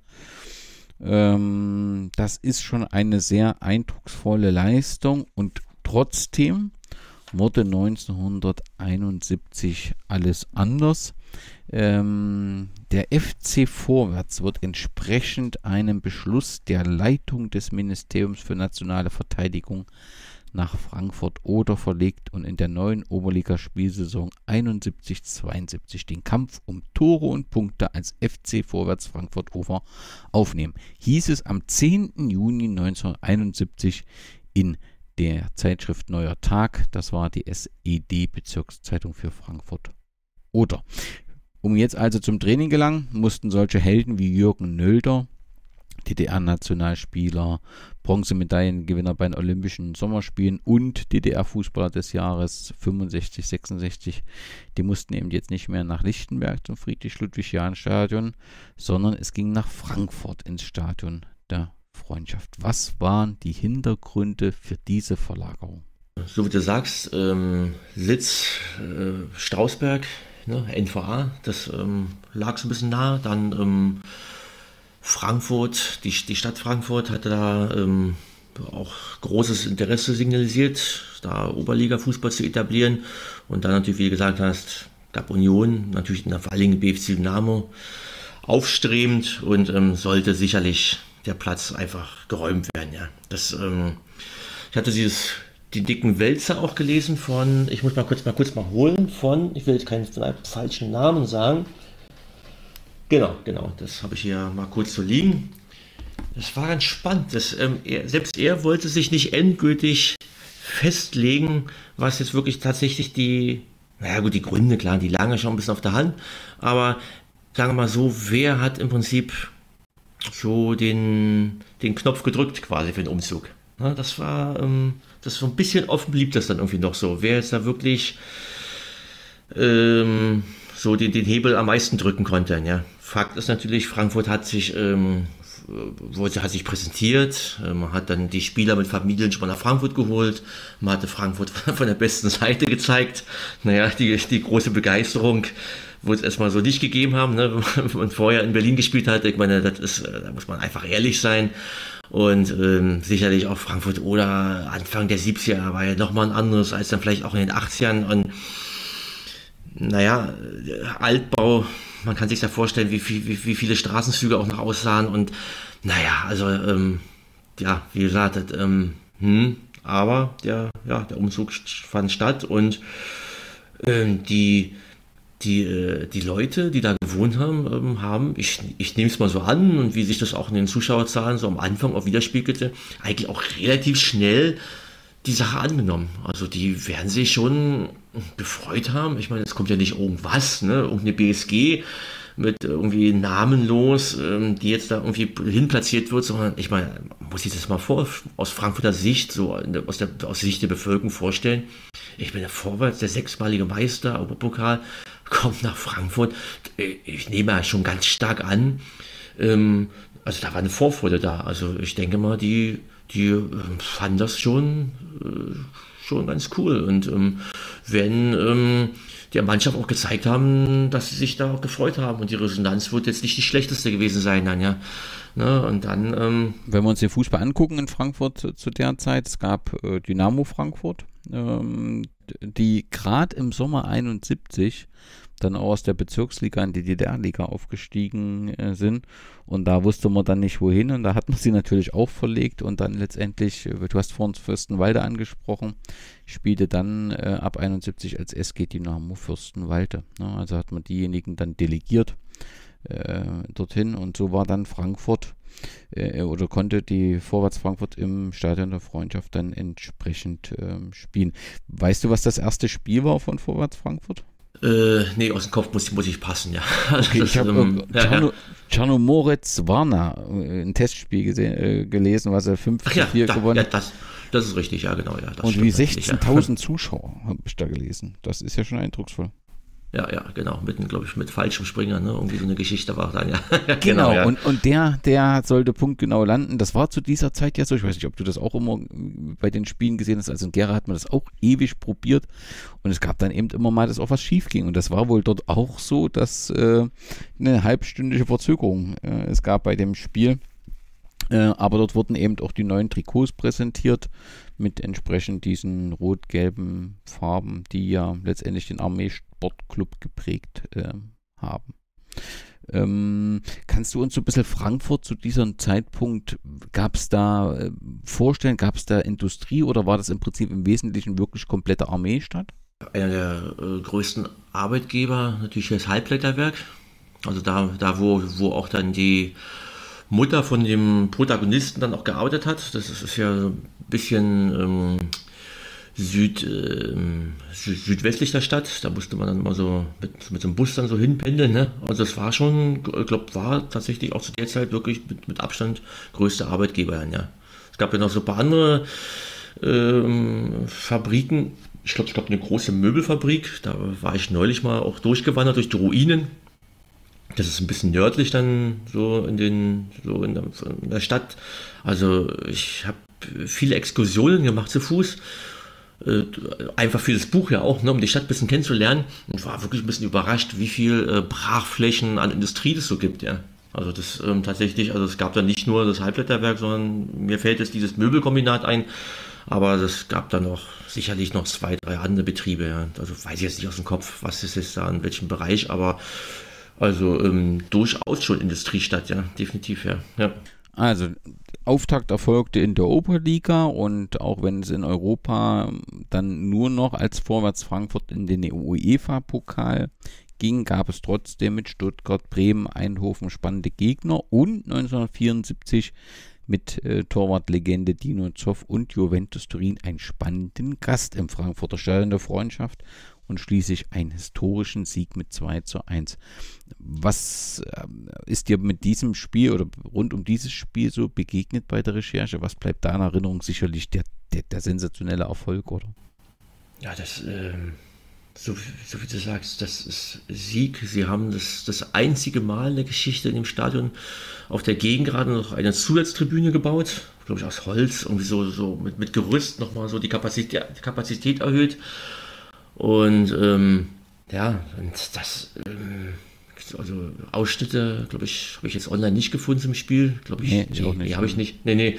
Aber ähm, ich habe dann ähm, aus dem Vereinsarchiv oder von, von der Person, ähm, von Herrn Südsdorf, der das ein bisschen betreut, sozusagen, die, die, das Bildmaterial und Programmhefte und was halt noch so äh, als finden war auf der Geschäftsstelle in den 90er Jahren und was dann auch äh, davor bewahrt wurde, in der, irgendeiner Papiertonne zu landen, das hat er das aufbewahrt und schön ähm, sortiert. Und ähm, ja, wenn man so die, die allein schon die Schwarz-Weiß-Fotos so sieht, ne, so die Zweikämpfe oder so ähm, zum Torschuss angesetzt, also muss man sagen, boah, krass, also das ist so Juventus, ne, das muss man sich mal so vorstellen, ja, die alte Dame, das ist ja, ähm, ja, krass. Also das ist, ich glaube, mehr, mehr geht ja irgendwie auch gar nicht. Ja, das war ja da, vom Namen her, auch zu, zu der Zeit damals, das war, ähm, ja, das ist ja Top 3. Das ist ja Real Madrid, Juventus. Ich meine, was, was ging mehr, ne? Also das, ähm, ja. Wer heute den Podcast hört und dann in Stern der Freundschaft fährt, atmet dieses Stadion ähm, noch so ein wenig die alte Zeit oder ist das modernisiert worden? atmet definitiv, was ein Trauerspiel ist, dass ähm, irgendwann die Flutlichtmasten abgerissen wurden. Also äh, ein Rumpf steht noch, der wird von der Telekom noch genutzt, so als Antennenmast. Aber die, die Masten, das war natürlich schon toll. Die waren zwar leer, da waren keine Lampen mehr drin, aber das war natürlich dann immer schon klasse. Ja, das ist so, die Ränge als solches natürlich klar, du kannst dann langlaufen. Du, ähm, zum Teil gibt es noch die Originalbänke und zum Teil die Zäune. Wenn man im Innenraum ist, dann kann man auch den alten Spielertunnel noch so sehen, der zugemauert ist. Ja, man kann so ein Stück mal so reinlaufen. Ne? Ich habe das neulich mal gemacht für ein TikTok-Video. Da bin ich so reingelaufen und habe mich so ausgesponnen und bin so rausgekommen und habe gesagt, 74, 20.000 Zuschauer, Juventus Turin. Ne? Das, ähm, das, das Video ist ganz gut gelungen, weil ich bin dann den Tunnel so rausgelaufen, wie früher so die Spieler. Und ähm, ja, also das ist schon krass, ja. Also wenn man sich das so vorstellt und das Marathontor ist natürlich noch identisch. Also das, das Stadion atmet definitiv noch was. Und wir haben ja neu so, ein, so, ein, ähm, so eine Aktion gestartet. Dann, als ich mit dem Buch dahin kam, haben dann so ein paar ältere FCV-Fans ähm, noch rot-gelbe Stoffe wieder so gehisst auf der Gegengrade. Und ähm, ja, das in dem Moment natürlich, ja, krass, ne? Wahnsinn, ja. Dann hängen die Stoffe, ich glaube, weiß ich nicht, zehn Stoffe hingen dann am Zaun. Und ähm, selbst bei so kleinen Farbtupfern, ne? Ja, ähm, ganz anders dann. Ja, ja, ja, ja. Und wenn du die Augen zumachst oder einfach nur so vor, vor dich hin so schaust, klar, das, das Stadion atmet, ja. Und schön, dass jetzt wieder Oberliga spielen und Dynamo Schwerin kommt und Blaues 90. Die müssen alle hinfahren. Ich werde das immer wieder bewerben und die motivieren, da hinzufahren. Äh, das, das müssen Spiele auch stattfinden, Mafia vor 400, 500 Zuschauern und da müssen, natürlich kommen ja auch Gästefans mit und ich werde auch die alten FCV-Fans immer motivieren zu den Spielen, wenn ja, Dynamo Schwerin kommt oder äh, hier Tasmania oder Blau-Weiß 90 oder Hansa Amateure, die müssen unbedingt die alten Stoffe hinhängen. Ne? Und die müssen auch möglichst viele Stoffe mitbringen und dann werden es ganz tolle Fußballspiele und dann wird so ein Hauch, äh, ja, zumindest so, ne, so 88 bis 1990 haben wir Dynamo Schwerin und Vorwärts tatsächlich in der gleichen Staffel gespielt, in der Staffel A. Und im Prinzip dann so ein Revival, so ein bisschen, ne? Und das ist doch toll. Das ist, ähm, ja, und ich kann das auch nur jedem empfehlen, jedem Grauentopper, der sich ein bisschen für Fußball interessiert. Fahrt dahin, nehmt das mit. und ähm, vor allen Dingen motiviert auch den Verein, den Vereinsoberen vom, vom ersten FC Frankfurt, motiviert die dazu, ein bisschen mehr ähm, die Tradition aufleben zu lassen. Ich bin überzeugt, in ein, zwei Spielzeiten, wenn die einfach auch mal wieder in Rot-Gelb, vielleicht beim Ausweichtrikot wir spielen. Ja, das ist, ähm, und die älteren Fans wünschen sich eigentlich auch gar nicht mehr. Eine Umbenennung wird es nicht mehr geben vorwärts, das ist eigentlich ausgeschlossen aber einfach in den Farben nochmal zu spielen, weißt du so. Und ähm, die Spieler haben sich auch einen Ass gefreut, als die Stoff, Stoffe hingen und die ganze Mannschaft ist, ist rübergekommen. Beim 6 zu 1 Sieg gegen ähm, Alt-Lüersdorf, die haben die Ola gemacht, die haben Shake Hands mit uns gemacht, also alle waren so im Innenraum, wo wir ein Gruppenfoto gemacht haben. Und hast du gesehen, ja Mensch, die Spieler wissen doch auch, wer früher da gespielt hat, weißt du so. Und ähm, das ist doch wie bei Stahl Brandenburg und anderen Vereinen, die bisschen jetzt in den unteren Ligen spielen ein bisschen, wenigstens ein bisschen die, die, äh, die Tradition aufleben lassen, das ist doch toll. Das ist doch für die Spieler toll, weißt du so. Und ähm, sei es nur ein bisschen, ne? Du musst ja gar nicht da groß die Schlachtrufe irgendwie aufleben lassen, aber lass die Stoffe hängen, lass danach ein bisschen quatschen beim Bier. Die haben ja beim, beim letzten Heimspiel so ein Grillfest gemacht und ich muss sagen, das war, ich war wirklich überrascht. Das ging bis 20, es waren fünf, äh, 400 Zuschauer an dem Tag den Klosterfälle und ähm, ein Großteil der Fans, äh, Zuschauer sind dann bis zum Schluss geblieben, bis Mitternacht noch. Also ich musste irgendwann mit meinem Sohnemann 22 Uhr los und ich das war das erste Mal seit vielen, vielen Jahren haben die älteren FCV-Fans, die mit dem ersten FC Frankfurt nichts anfangen können, weil, naja, umbenannt, fusioniert mit, mit Eintracht Frankfurt, also mit Eintracht Frankfurt oder Ne, zum ersten FC Frankfurt äh, 2012 und die sagen, ja, die Farben nicht mehr, der Name irgendwie gar nichts mehr. Aber ähm, die gehen eigentlich, die gingen eigentlich nur ins Stadion aus, wegen Nostalgiegründen und konnten mit 1. FC Frankfurt nichts mehr anfangen.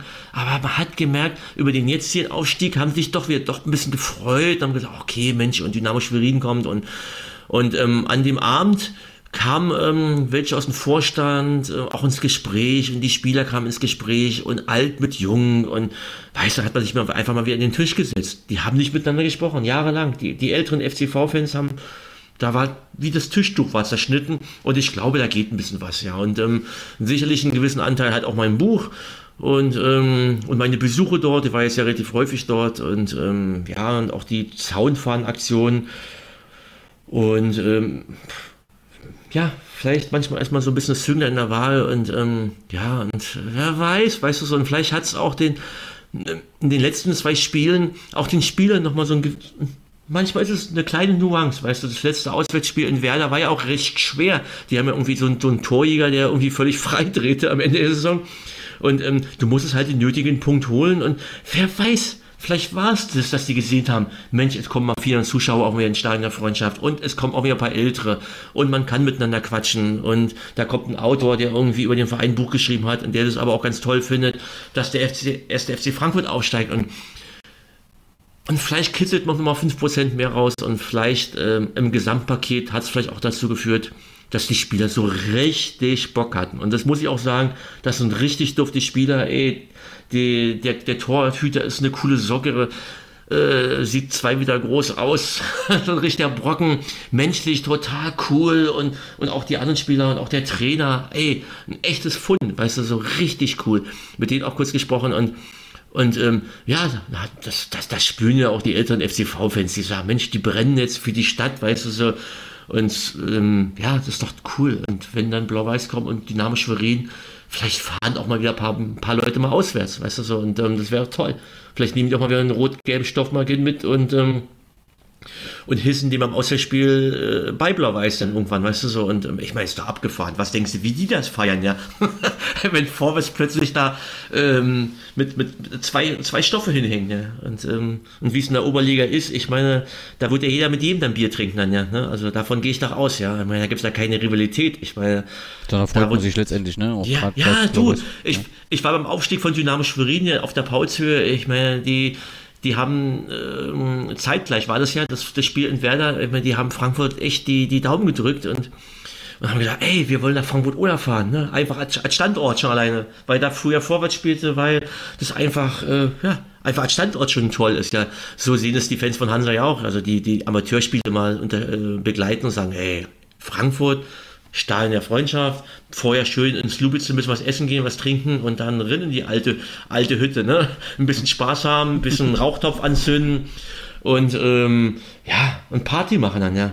Und ähm, das war ja damals ja schon, vor fünf, sechs Jahren, als sie zusammen in der Oberliga spielten. Und ich glaube, da geht jetzt noch mehr, ja. Also vor allen Dingen, dass man halt mit den, das werde ich dann, äh, bei der Hansa kenne ich ja, äh, die mit den Amateuren fahren ja nun fast alle, ne? also die Stammfahrer. Und äh, da werde ich die ermutigen, dass sie auch den Kontakt aufnehmen oder dass wir zusammen auf Kontakt aufnehmen und mit den Frankfurtern uns dann äh, nach den Spielen auf dem Bier noch hinsetzen. Ne? Und nicht nur das als Standort irgendwie cool finden und sagen, hey, machen wir hier ein bisschen Bambule, im Bambule von, wir machen Oberkörper frei, machen eine Wasserschlacht und machen einen Rauchtopf, sondern ähm, lasst uns einfach mit den Frankfurtern zusammen, die Bock haben, ein bisschen Fußballfest zusammen machen, zusammen feiern. Ne? Und äh, ich sehe da viele Chancen. Ja? Und ähm, ich denke mal, auf so einer Ebene, da, da kann ich bestimmt auch ein bisschen vermitteln und und ich weiß, dass die ersten Kontakte zwischen Frankfurtern und, und, und Schwerinern schon jetzt stattfanden, ja, über Facebook. Das, das bedarf ja auch nicht viel. Ne? Das ist einmal Klick gemacht und, und unter meinem Spielbericht auf Facebook finden sich die ersten Leute ja schon zusammen dann. Ja? Und ähm, das finde ich toll und ähm, das ist ähm, dann, wenn Frankfurt gegen Schwerin spielt, wünsche ich mir ein 5-5. da, da, werde ich mit dem Bier trinken und da freue mich auf die Schweriner, zu denen ich auch einen guten Rat habe. Und ja, das ist, ich, ich merke gerade, um ein bisschen kurz, ein bisschen abzuschweifen, äh, im Rahmen meiner Arbeit über die vielen Jahre bin ich an so einem Punkt gelandet, äh, der mich wirklich glücklich macht. Im Bereich des Amateurfußballs, weil ich einfach auch ein paar kleine Sachen bewegen kann. Ne? Ich kann vermitteln, ich kann kleinere Vereine auch eine Plattform bieten übers Magazin oder sei es auch natürlich über so ein Buch, was natürlich eine ganz große Wucht ist. Und ähm, ja, ich kann Kontakte herstellen und ähm, kann Leute auch motivieren, dass sie zu dem Spiel gehen. Ich meine, das macht im Amateurfußball äh, ja schon was aus, weißt du, ob du über irgendwie, wenn du so ein bisschen für so ein Spiel wirbst, ich meine, kann ganz schnell kommen, dass 100 Leute mehr kommen, ne? Weil die Leute das, weil die Leute es halt nicht auf dem Schirm haben und sagen, ja, Frankfurt gegen Dynamo Schwerin, ich meine, alle haben natürlich ihre anderen Vereine auf dem Schirm und aber gehen ja trotzdem ganz gerne hoppen oder mal was anderes gucken und wenn ich irgendwie sage, hey, und bitte daran denken, ne, am so und so vierten spielt äh, Frankfurt gegen Schwerin, dann haben die Leute das ja auf dem Schirm und sagen, hey, cool, danke für den Tipp, hätte ich voll verpasst. Und dann, äh, wenn man ein bisschen die Werbetrommel rührt, dann denke ich mal, kann man da was bewirken, dass da die Sache gut angenommen wird, ja. ja. Es wird auf jeden Fall eine spannende Oberliga-Saison 22, 23, aber wir müssen zurück, zurück ja, äh, zum genau. FC Vorwärts Frankfurt. Wir waren bei 1974 und dem UEFA Pokalspiel gegen Juventus Turin. Frankfurt ist ja im vergangenen Jahr 50. gab es einen 50. Geburtstag und da ist auch überregional viel berichtet worden und die FAZ titelte zum Beispiel, wie aus dem FC vorwärts der FC ab abwärts wurde. Damit ist natürlich gemeint, dass ähm, die sportlichen Leistungen, die in Frankfurt geboten wurden, und da darf dieses UEFA-Pokalspiel oder der Sieg gegen Juventus Turin nicht hinwegtäuschen, auf einem anderen Niveau waren als vorher Vorwärts Berlin, die regelmäßig um die Meisterschaft mitspielen, beziehungsweise die auch gewannen. Äh, Vorwärts stand 76 relativ unerwartet im Pokalfinale verlor das gegen Lokomotive Leipzig mit 0 zu 3. Doch 78 konnte dann der Abstieg nicht mehr verhindert werden.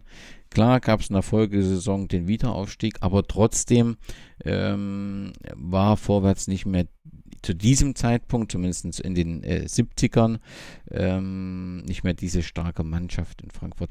Hat das Auswirkungen auf die Zuschauerresonanz gehabt? Hat das Auswirkungen auf die Identifikation gehabt? Oder sind die Zuschauer dann auch mit dem Wiederaufstieg dann wieder mitgegangen und haben vorwärts, ihr, ihr Vorwärtsteam unterstützt? Genau, nach dem Wiederaufstieg äh, kam ja dann die Hochphase sogar, ja. Zuschauertechnisch und äh, Fußballtechnisch, ähm, also hier von 80, also von 80 bis 85 muss man sagen, die fünf Jahre, also vor allen Dingen, sagen wir mal, die ersten drei Jahre in den 80ern, da ähm, waren die Ränge überraschend voll teils und ähm, natürlich die UEFA-Pokalauftritte waren natürlich äh, legendär. Ne? Da das, das, das, das einzige Mal als Vorwärts Frankfurt auch mal weitergekommen gegen Ballymena United 80, 81 und dann äh, gab es ja dann die, die Spiele gegen VfB Stuttgart.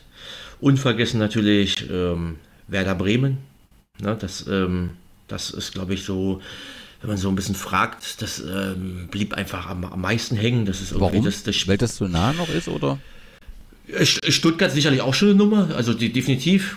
Aber so Bremen, das ist irgendwie tatsächlich, also da, ähm, ja, äh, Name, also das, das, das muss so derzeit einfach nochmal nochmal ganz anders gezogen haben als jetzt Stuttgart dann. Ja, also es klingt aus heutiger Sicht ja irgendwie vom Namen hier so als Bundesligist ja irgendwie ähnlich, aber zu der Zeit war irgendwie Bremen, das war irgendwie, ja, das war wirklich absolut ähm, schon, ja, gefühlt so aus der Bundesliga Top 3, so vom Namen, ne? Das war, also das war ähm, unvergessen, ja, das, das Heimspiel dann verloren und dann mit Rudi Völler ähm, damals, ne? Ja, ja, ja, das war, ja, da war, ja, das war, kam auch ein paar Gästefans mit und äh, ja, das war schon, war große Aufregung. Man hat versucht, irgendwie Autogramme zu bekommen und man hat Kontakt aufgenommen, auch zu den gegnerischen Fans. Man stand ja relativ eng beisammen und das war ja auch jetzt nicht so, äh, so streng gehandhabt und abgeschirmt jetzt wie in Ostberlin. Ne? Also wenn jetzt äh, der HSV oder Bremen jetzt beim BFC Name zu Gast waren, naja, da war ja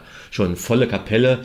Äh, was die Abschirmung so betraf, das war nicht ganz so streng. Ja. Sicherlich Staatssicherheit, Volkspolizei hatten natürlich ein Auge drauf gehabt, dass da nichts aus dem Ruder gerät, dass es keine Spruchbänder gibt oder so eine Geschichten.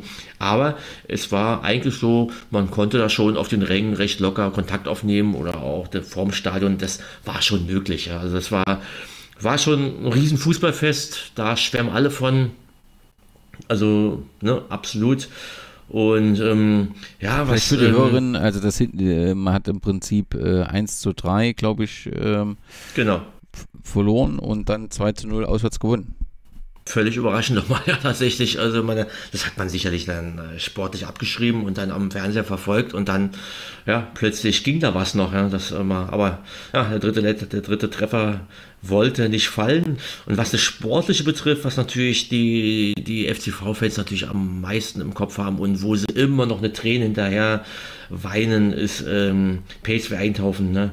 2 zu 0 ähm, zu Hause und 0 zu 3 auswärts. Das war, ähm, ja, das, da war das, das, das Weiterkommen wirklich machbar und ähm, ja, das, ähm, da sagen viele, das schmerzt. Das, äh, das war wirklich die, die Möglichkeit und irgendwie das war, ähm, ja, danach ging es halt wirklich abwärts. Ne? Also zuschauertechnisch und ähm, das kam ja alles einher. Das, ähm, die Zuschauerzahlen ähm, gingen in der zweiten Hälfte der 80er so ein bisschen runter in der DDR-Oberliga und in Frankfurt eigentlich dann noch mehr, noch mehr rapide. Ja. Der Erfolg blieb dann aus. Von Europapokal war äh, das war nicht mehr machbar.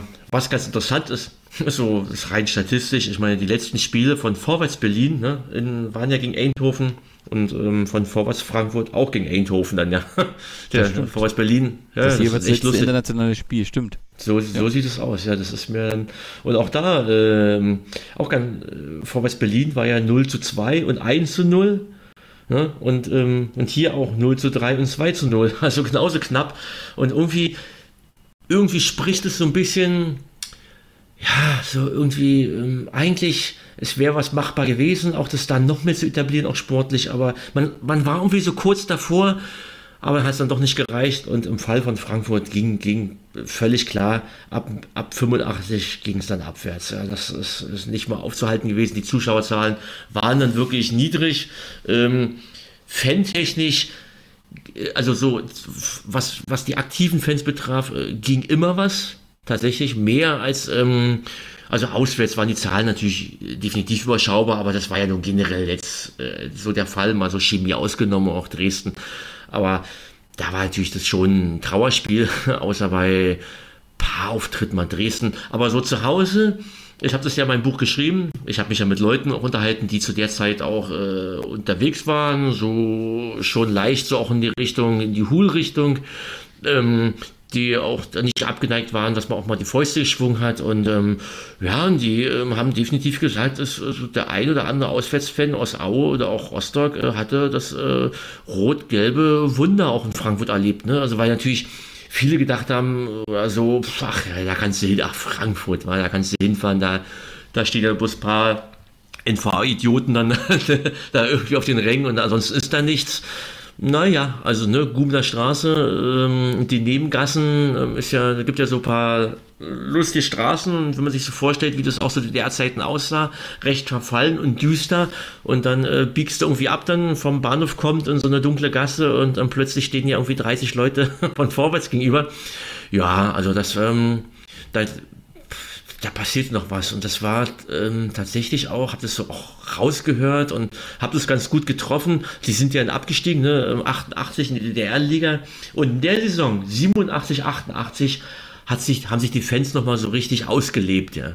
Tatsächlich nochmal in der DDR-Oberliga. Irgendwie haben die das so im siebten Sinn gehabt, im Bauchgefühl, dass danach dann irgendwie, das war ja auch die Abstiegssaison, man hat ja irgendwie gekämpft bis zum Schluss und dann ging das runter. Naja, und dann kann man sich das ja nun vorstellen. Ne? Also die zwei Jahre DDR-Liga, ich meine, das, ähm, ja, da passiert dann wirklich nicht mehr viel. Also das war dann eigentlich die Weichen eigentlich für, für diese letzte DDR-Oberliga. Sie sind ja zum Glück nochmal aufgestiegen 1990, aber im Prinzip, der, da war ja Drops gerutscht, da war keine Basis mehr da.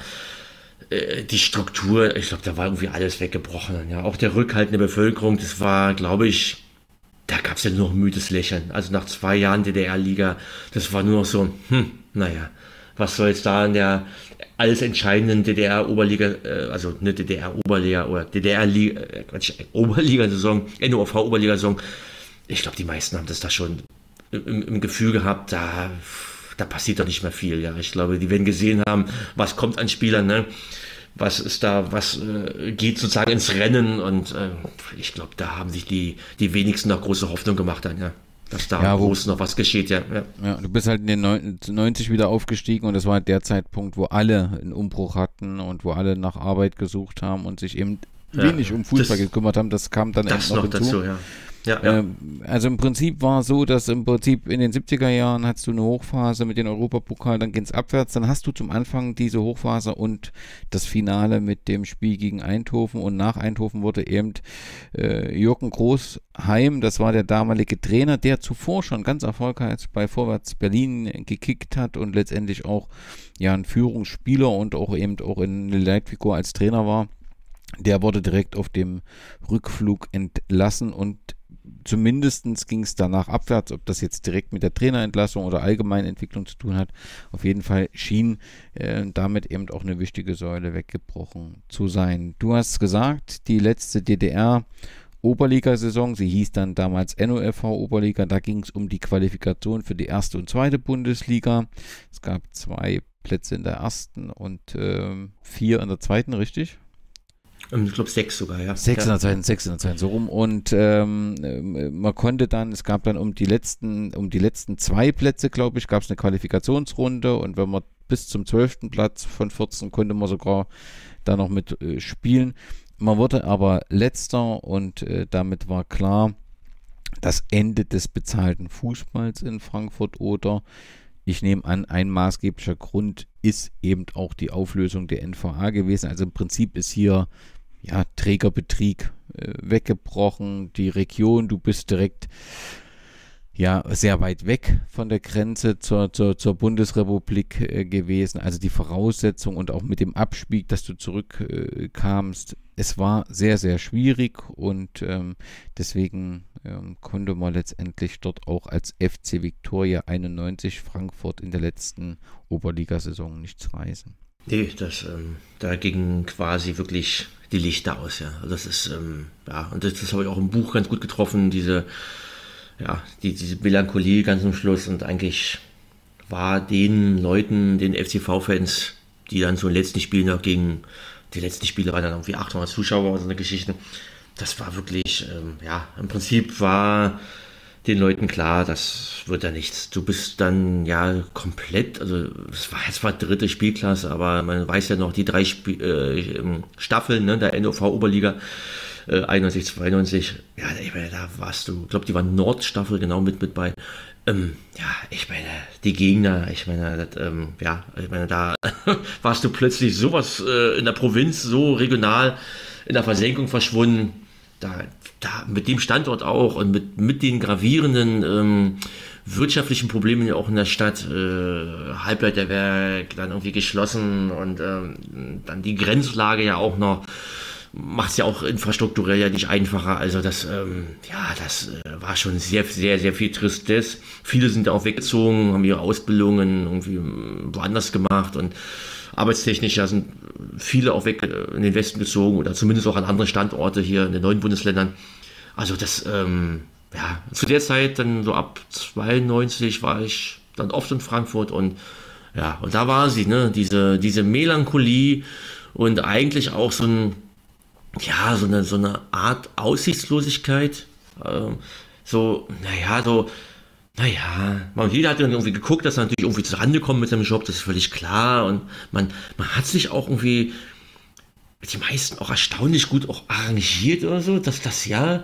Und man hat dann irgendwie, ich kenne unglaublich viele Leute, die dann irgendwie so ihren Ausgleich so auf Wochengrundstück auf der Datsche gesucht haben und, und dann schön beim Bierchen und Grillen und mit so einer, mit so einer ganz ähm, kuriosen auch Gelassenheit, ne? Also völlig anders als vielleicht auch der Sachse, ne? So, ähm, wo es dann irgendwie, ja, muss ja irgendwie und der Wutsachse, ne? Der wird dann mürrisch, wenn irgendwas nicht so läuft und ich, ich habe ein bisschen immer so ein bisschen auch bewundert, so diese Gelassenheit der, der Leute dort, ja, ob es jetzt Jüngere oder Ältere waren und naja, da wurde halt dann so, naja, gut, mit Victoria, na gut, dann wurde halt nichts naja, ah dann ist halt der Handball, das war natürlich immer so ein bisschen der Stolz natürlich und das Boxen und man hat sich über andere Sachen halt dann erfreut und irgendwann kam ja auch Energie Cottbus hoch, dann hat man sich über die gefreut und ja, naja, und das, das ist dann so, naja, und mit der Victoria, naja, das ist dann so, ne, und dann, dann habe ich dann irgendwie den Papa von einem äh, Freund, also von, von meinem besten Freund, dem, dem Jan, dann irgendwie ich gedacht, na, lass uns doch mal zusammen mal zum, zum Brandenburg, äh, Brandenburg-Liga, also Verbandsliga natürlich noch damals oder auch ja Oberligaspiel gab es ja auch.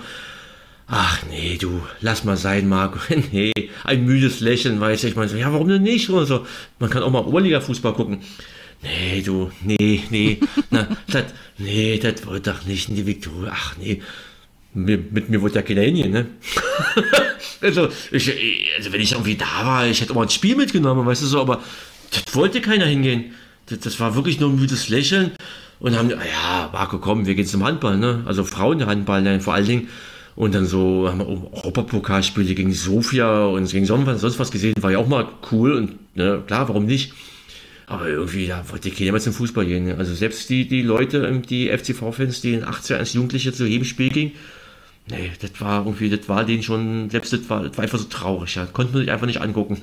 Ja, aber das, das scheint ja dann auch, auch eine fehlende Identifikation zu sein. Also irgendwie scheint ja die, die neu, der neue Verein oder dem, dem, die Nachfolger nicht so richtig mitgenommen zu haben, die Vorwärtstradition. Das klingt ja so ein bisschen bei dir an, dass, das, dass man das eigentlich abschütteln wollte, auch den Namen eben die Diskussion nicht ja, zulassen ja, wollte. Ja, Aber das ist dann halt auch schwierig, ne, wenn man dann komplett. Also genau, also es gab wohl tatsächlich so ein Häufchen, ähm, ähm, die tatsächlich dann auch hier mit Victoria in den 90ern und Anfang des Tausends auch dann ähm, gefahren sind mit Fanclubs und auch auswärts und und ähm, äh, zum Teil ein bisschen erlebnisorientiert und also ich habe mal so ein paar Fansdienste geschenkt bekommen, bei alte, dann staune ich dann irgendwie noch, dann ja mit dem Bus irgendwo hingefahren und, und irgendwie, also ja, also auf, auf, auf kleinem Niveau ging schon noch was dann, ja, aber ich glaube dann irgendwie, also 2012 mit, mit der Fusion und nochmal mit der Umbenennung dann irgendwie in 1. FC Frankfurt,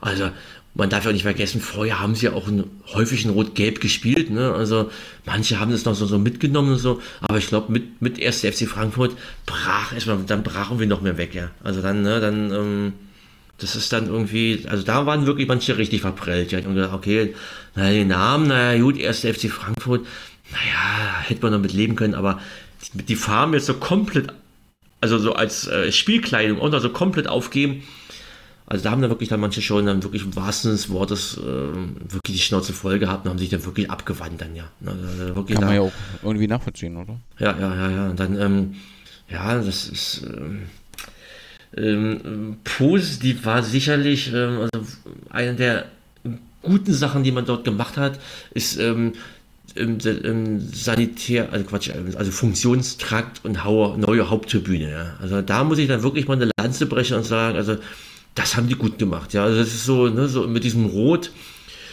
äh, so ein bisschen eingebunden, auch von der Höhe her, so ins restliche Stadion. Also da, da gibt es ja wirklich ganz andere Geschichten. Ja, also ich muss sagen, so auch so drin die Räumlichkeiten, Umkleide, ähm, ähm, die Raum, wo Pressekonferenzen stattfinden, gemeinsames Essen der Mannschaft und äh, oben so ein bisschen mit so einer Terrasse oben und also das ist ja wirklich Drittligatauglicher. Und neulich hingegen, als das Grillfest war, war einer meiner BFC-Freunde dort, die mit, mit Frau und Kind, die haben eine Radtour gemacht und sind dann nochmal vorbeigekommen dann nach dem Spiel und da hat er sich das angeguckt ne? und ich habe ihm drin so ein bisschen die Sachen gezeigt, der war völlig baff ne? und hat gesagt, mein lieber Scholli, also hier Verbandsliga noch und, und so eine Haupttribüne, also gerade diese Räumlichkeiten drin, der meinte, also da, davon träumt der BFC ja im Sportforum, ne?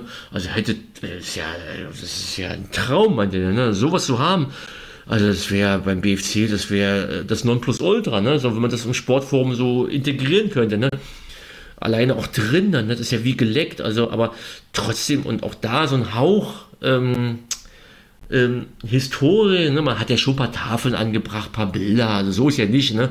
Und wenn man so dann drin so, mh, hm, das, das, das, schon nicht schlecht, aber ich sage halt, ähm, es wäre halt mehr möglich. Also so wie bei Stahl Brandenburg, die haben das ja auch jetzt komplett neu gemacht, da ihr, da wo die Umkleiden sind und ähm, Vereinsheim und die haben es ja mit Graffitis, also mit ne, so bemalt, bis breit und drin gestaltet, also Gänsehaut, weißt du so, und von Stahl Brandenburg.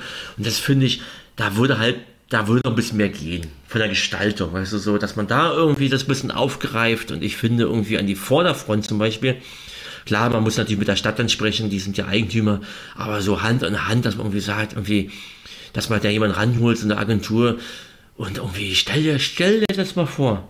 Ne, so, man könnte es ja auch so in Schwarz-Weiß machen, so gegen Juventus.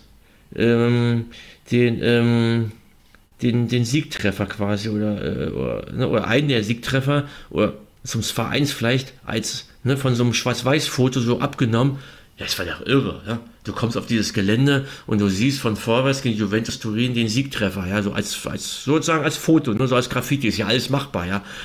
Und, ähm, und äh, ja, da, da finde ich, da geht was. Du musst raufkommen aufs Stadiongelände und du musst eigentlich, du musst so, sofort drauf stoßen, selbst wenn du dich mit, mit, mit Fußball gar nicht so auskennst und das gar nicht so auf dem Schirm hast, dass da irgendwie mal ein Europapokal gespielt wurde, da musst du halt dann, das muss als Blink, Blickfang irgendwie sein und du musst dann irgendwie sagen, oh krass, wie Juventus war hier, 74 gewonnen, was ist das denn, ne?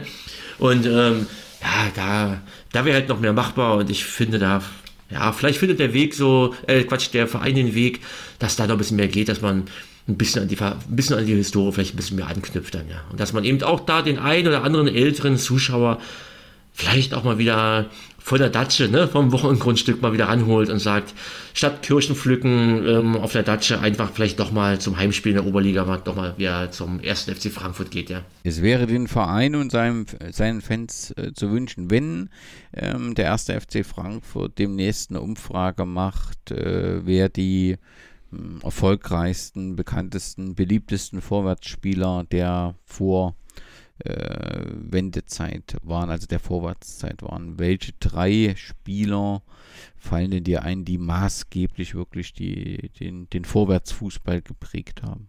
Ja, das, äh, da muss man schon sagen, das sind natürlich die aus der aus den 60ern, ne, Ende 60er natürlich aus der Berliner Zeit, ja. Das sind irgendwie, also Fressdorf, Spickenagel, Nöllner, das sind natürlich ein, das sind die überstrahlen alles, ne? Das sind Namen, das, das ist, äh, ja, das ist Gänsehaut, ja. Ich meine, der Jürgen Nöllner lebt ja noch und ich hoffe mal, dass wir das irgendwie, dass ich, eigentlich, das wäre wirklich so ein Ding.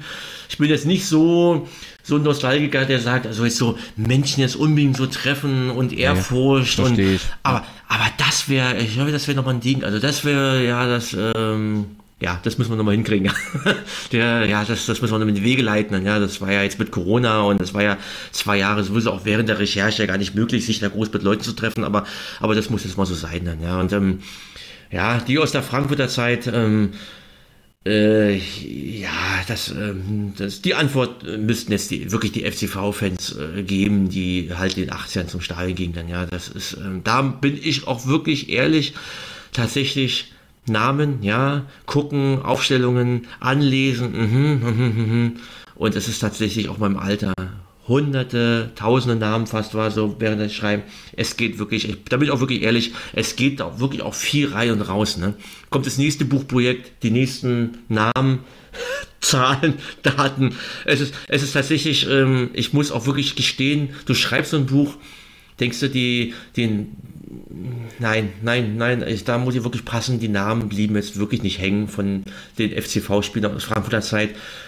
Das, da bin ich ehrlich, ja. Also da, ähm, Aber du hast ja schon mit mit Nölder, den DDR-Fußballer des Jahres, das muss man schon äh, sagen, der da einfach wirklich herausragend ist. Spickenagel hast du ja auch angesprochen als Nationalspieler. Das sind ja schon wirklich ähm, ja, zentrale Figuren. Scherbaum, der Kapitän der Fußballnationalmannschaft der DDR beim ersten Länderspiel 52 war. Also da sind schon rund um diese Vorwärtszeit ähm, ja, tolle Persönlichkeiten ähm, gewesen und natürlich auch tolle Erfolge. Einen Namen gebe geb ich doch noch, und zwar den, den, den, doch, das muss noch sein, ja, weil ich es gerade aufgeschlagen habe, und zwar den Lieblingsspieler vom Protagonisten hier, diesem Molly, ja, und das war Volkmar Kuli. das, das war sein, ja, ja, das war sein Lieblingsspieler, ja, Volkmar Kuli. Das war so ein so Lieblingskultspieler, glaube ich, so ein bisschen ging es in die Richtung, ja. Das ist, ähm, ja, um jetzt doch nochmal einen Namen zu nennen. das ist, ähm, ja, Vielen Dank, Marco, dass du uns durch die Geschichte des FC Vorwärts Berlin bzw. Frankfurt äh, geführt hast.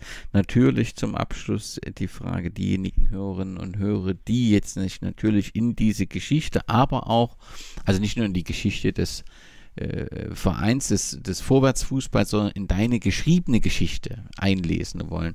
Wo kann ich dein Werk bestellen? Also die, wie generell bei den Fußballfibeln, natürlich auf allen äh, in der Buchhandlung und ähm, ja, auch bei dem größten Online-Portal. Aber wer natürlich eins bei mir kaufen will, mit einer persönlichen Widmung, der kann das natürlich bei mir bestellen und dann einfach na, meinen Namen googeln, findet man sofort oder einfach auch Marco bertram.de und dort gibt es dann, ja, da werden die ganzen Bücher, alle zehn Bücher auch vorgestellt. Man kann das entsprechende Buch anklicken. Darunter ist ein Kontaktformular. Dann kriege ich eine Mail und antworte dann auch per Mail. Das funktioniert eigentlich sehr gut. Das war, ähm, hat den Härtetest auch bestanden mit Kaperfahrten, was äh, ja schon sehr viel bei mir bestellt wurde und ähm, also so ein gewisser Stresstest, ne? als es auch mal recht viele Bestellungen auf einmal gab vor zwei Jahren, auch vor anderthalb Jahren. Und ähm, ja, ich freue mich natürlich über jeden, der die Bücher bei mir bestellt. Ganz offen bleibt natürlich ein bisschen mehr hängen, auch dann, als wenn ähm, das Buch jetzt bei Amazon oder im Buchhandel bestellt wird. Aber ja, wie gesagt, wer den Buchhandel unterstützen will, kann es natürlich auch dort ähm, bestellen im Buch, in der Buchhandlung des Vertrauens. Logischerweise. Es gibt ja auch welche, die vielleicht mal reinschauen wollen, dann ist natürlich eine Buchhandlung, sich das zuschicken lassen, mal kurz mal durchblättern und dann hoffentlich gefesselt werden, ja. Ganz, ganz herzlichen äh, Dank. Es ist eine spannende Zeit. Wir hatten schon einen Podcast zur Geschichte von Vorwärts Dessau, durften jetzt mit dir für den Vorwärts Berlin und Vorwärts Frankfurt die Geschichte äh, besprechen und natürlich planen wir noch zeitnah einen Podcast zur Geschichte von Vorwärts Leipzig, dort letztendlich, wo alles angefangen hat und was ja neben der Berliner und Frankfurter Zeit parallel immer noch gespielt wurde und dann auch wieder nochmal neu nach Dessau delegiert wurde. Es ist eine besondere unsere Zeit, diese äh, Armee-Sport-Club-Zeit. Äh, Marco, dir ganz, ganz herzlichen Dank ähm, für deine Einblicke und die Zeit. Und ich freue mich auf unser nächstes Gespräch über Sparta Lichtenberg. Können wir gerne machen, ja. Ich danke auch und ähm, ja, einen schönen Gruß in die Runde. Vorwärts!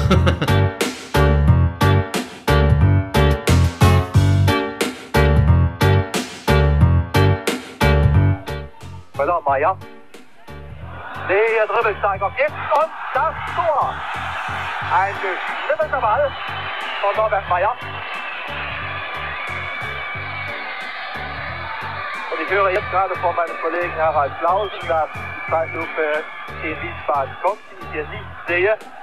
Sie können das jetzt beurteilen. Meyer hat den Ball. Ich glaube, es war mit dem rechten Fuß aus bis zum Winkel aus links Außenposition und der Ball ist drin. Gespielt. Gut 32 Minuten, 1 zu 0 für Werder.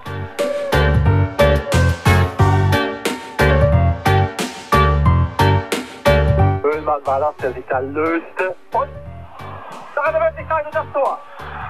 Eieiei, Uwe Reinders. Zunächst der Versuch mit Fallrückzieher zum Erfolg zu kommen. Wir werden das ja daheim noch einmal sehen können. Die Slow Motion kommt wenn Der Harald Klausen, mir sagt, wie die läuft, die Hereingabe, der Fallrückzieher misslingt und dann Völler war das, der den Fallrückzieher versuchte. Und dann Uwe rein das mit dem rechten Fuß.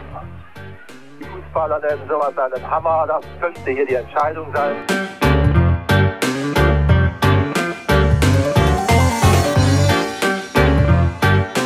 Wieder ein gutes Spiel und wunderschönes Tor. Ein Tor von Rudi Völler. Das 3 zu 0. Wunderbar herausgespielt. Der Torwart zögerte. Auch das werden Sie gleich in der Zeitlupe sehen. Ein weißer Flugball. Wunderbar gezogen von der rechten Seite. Sie sehen jetzt die Flanke.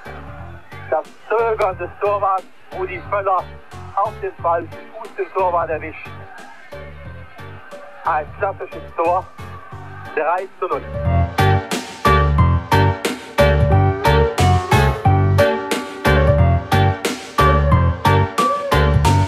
unserer Uhr noch 13 Sekunden jetzt. Und noch einmal. Die Rot-Gelb. Vielleicht jetzt wieder ein Schuss. Noch einmal hinaus. Wieder auf die rechte Seite. Wieder der Versuch vorbeizukommen. Und da laufen zwei Kollegen hier bei mir vorbei, aber als Fischer habe ich das Tor doch noch gesehen. Der Anschlusstreffer, Sekunde vor Schluss, ein Dribbling von Konrad.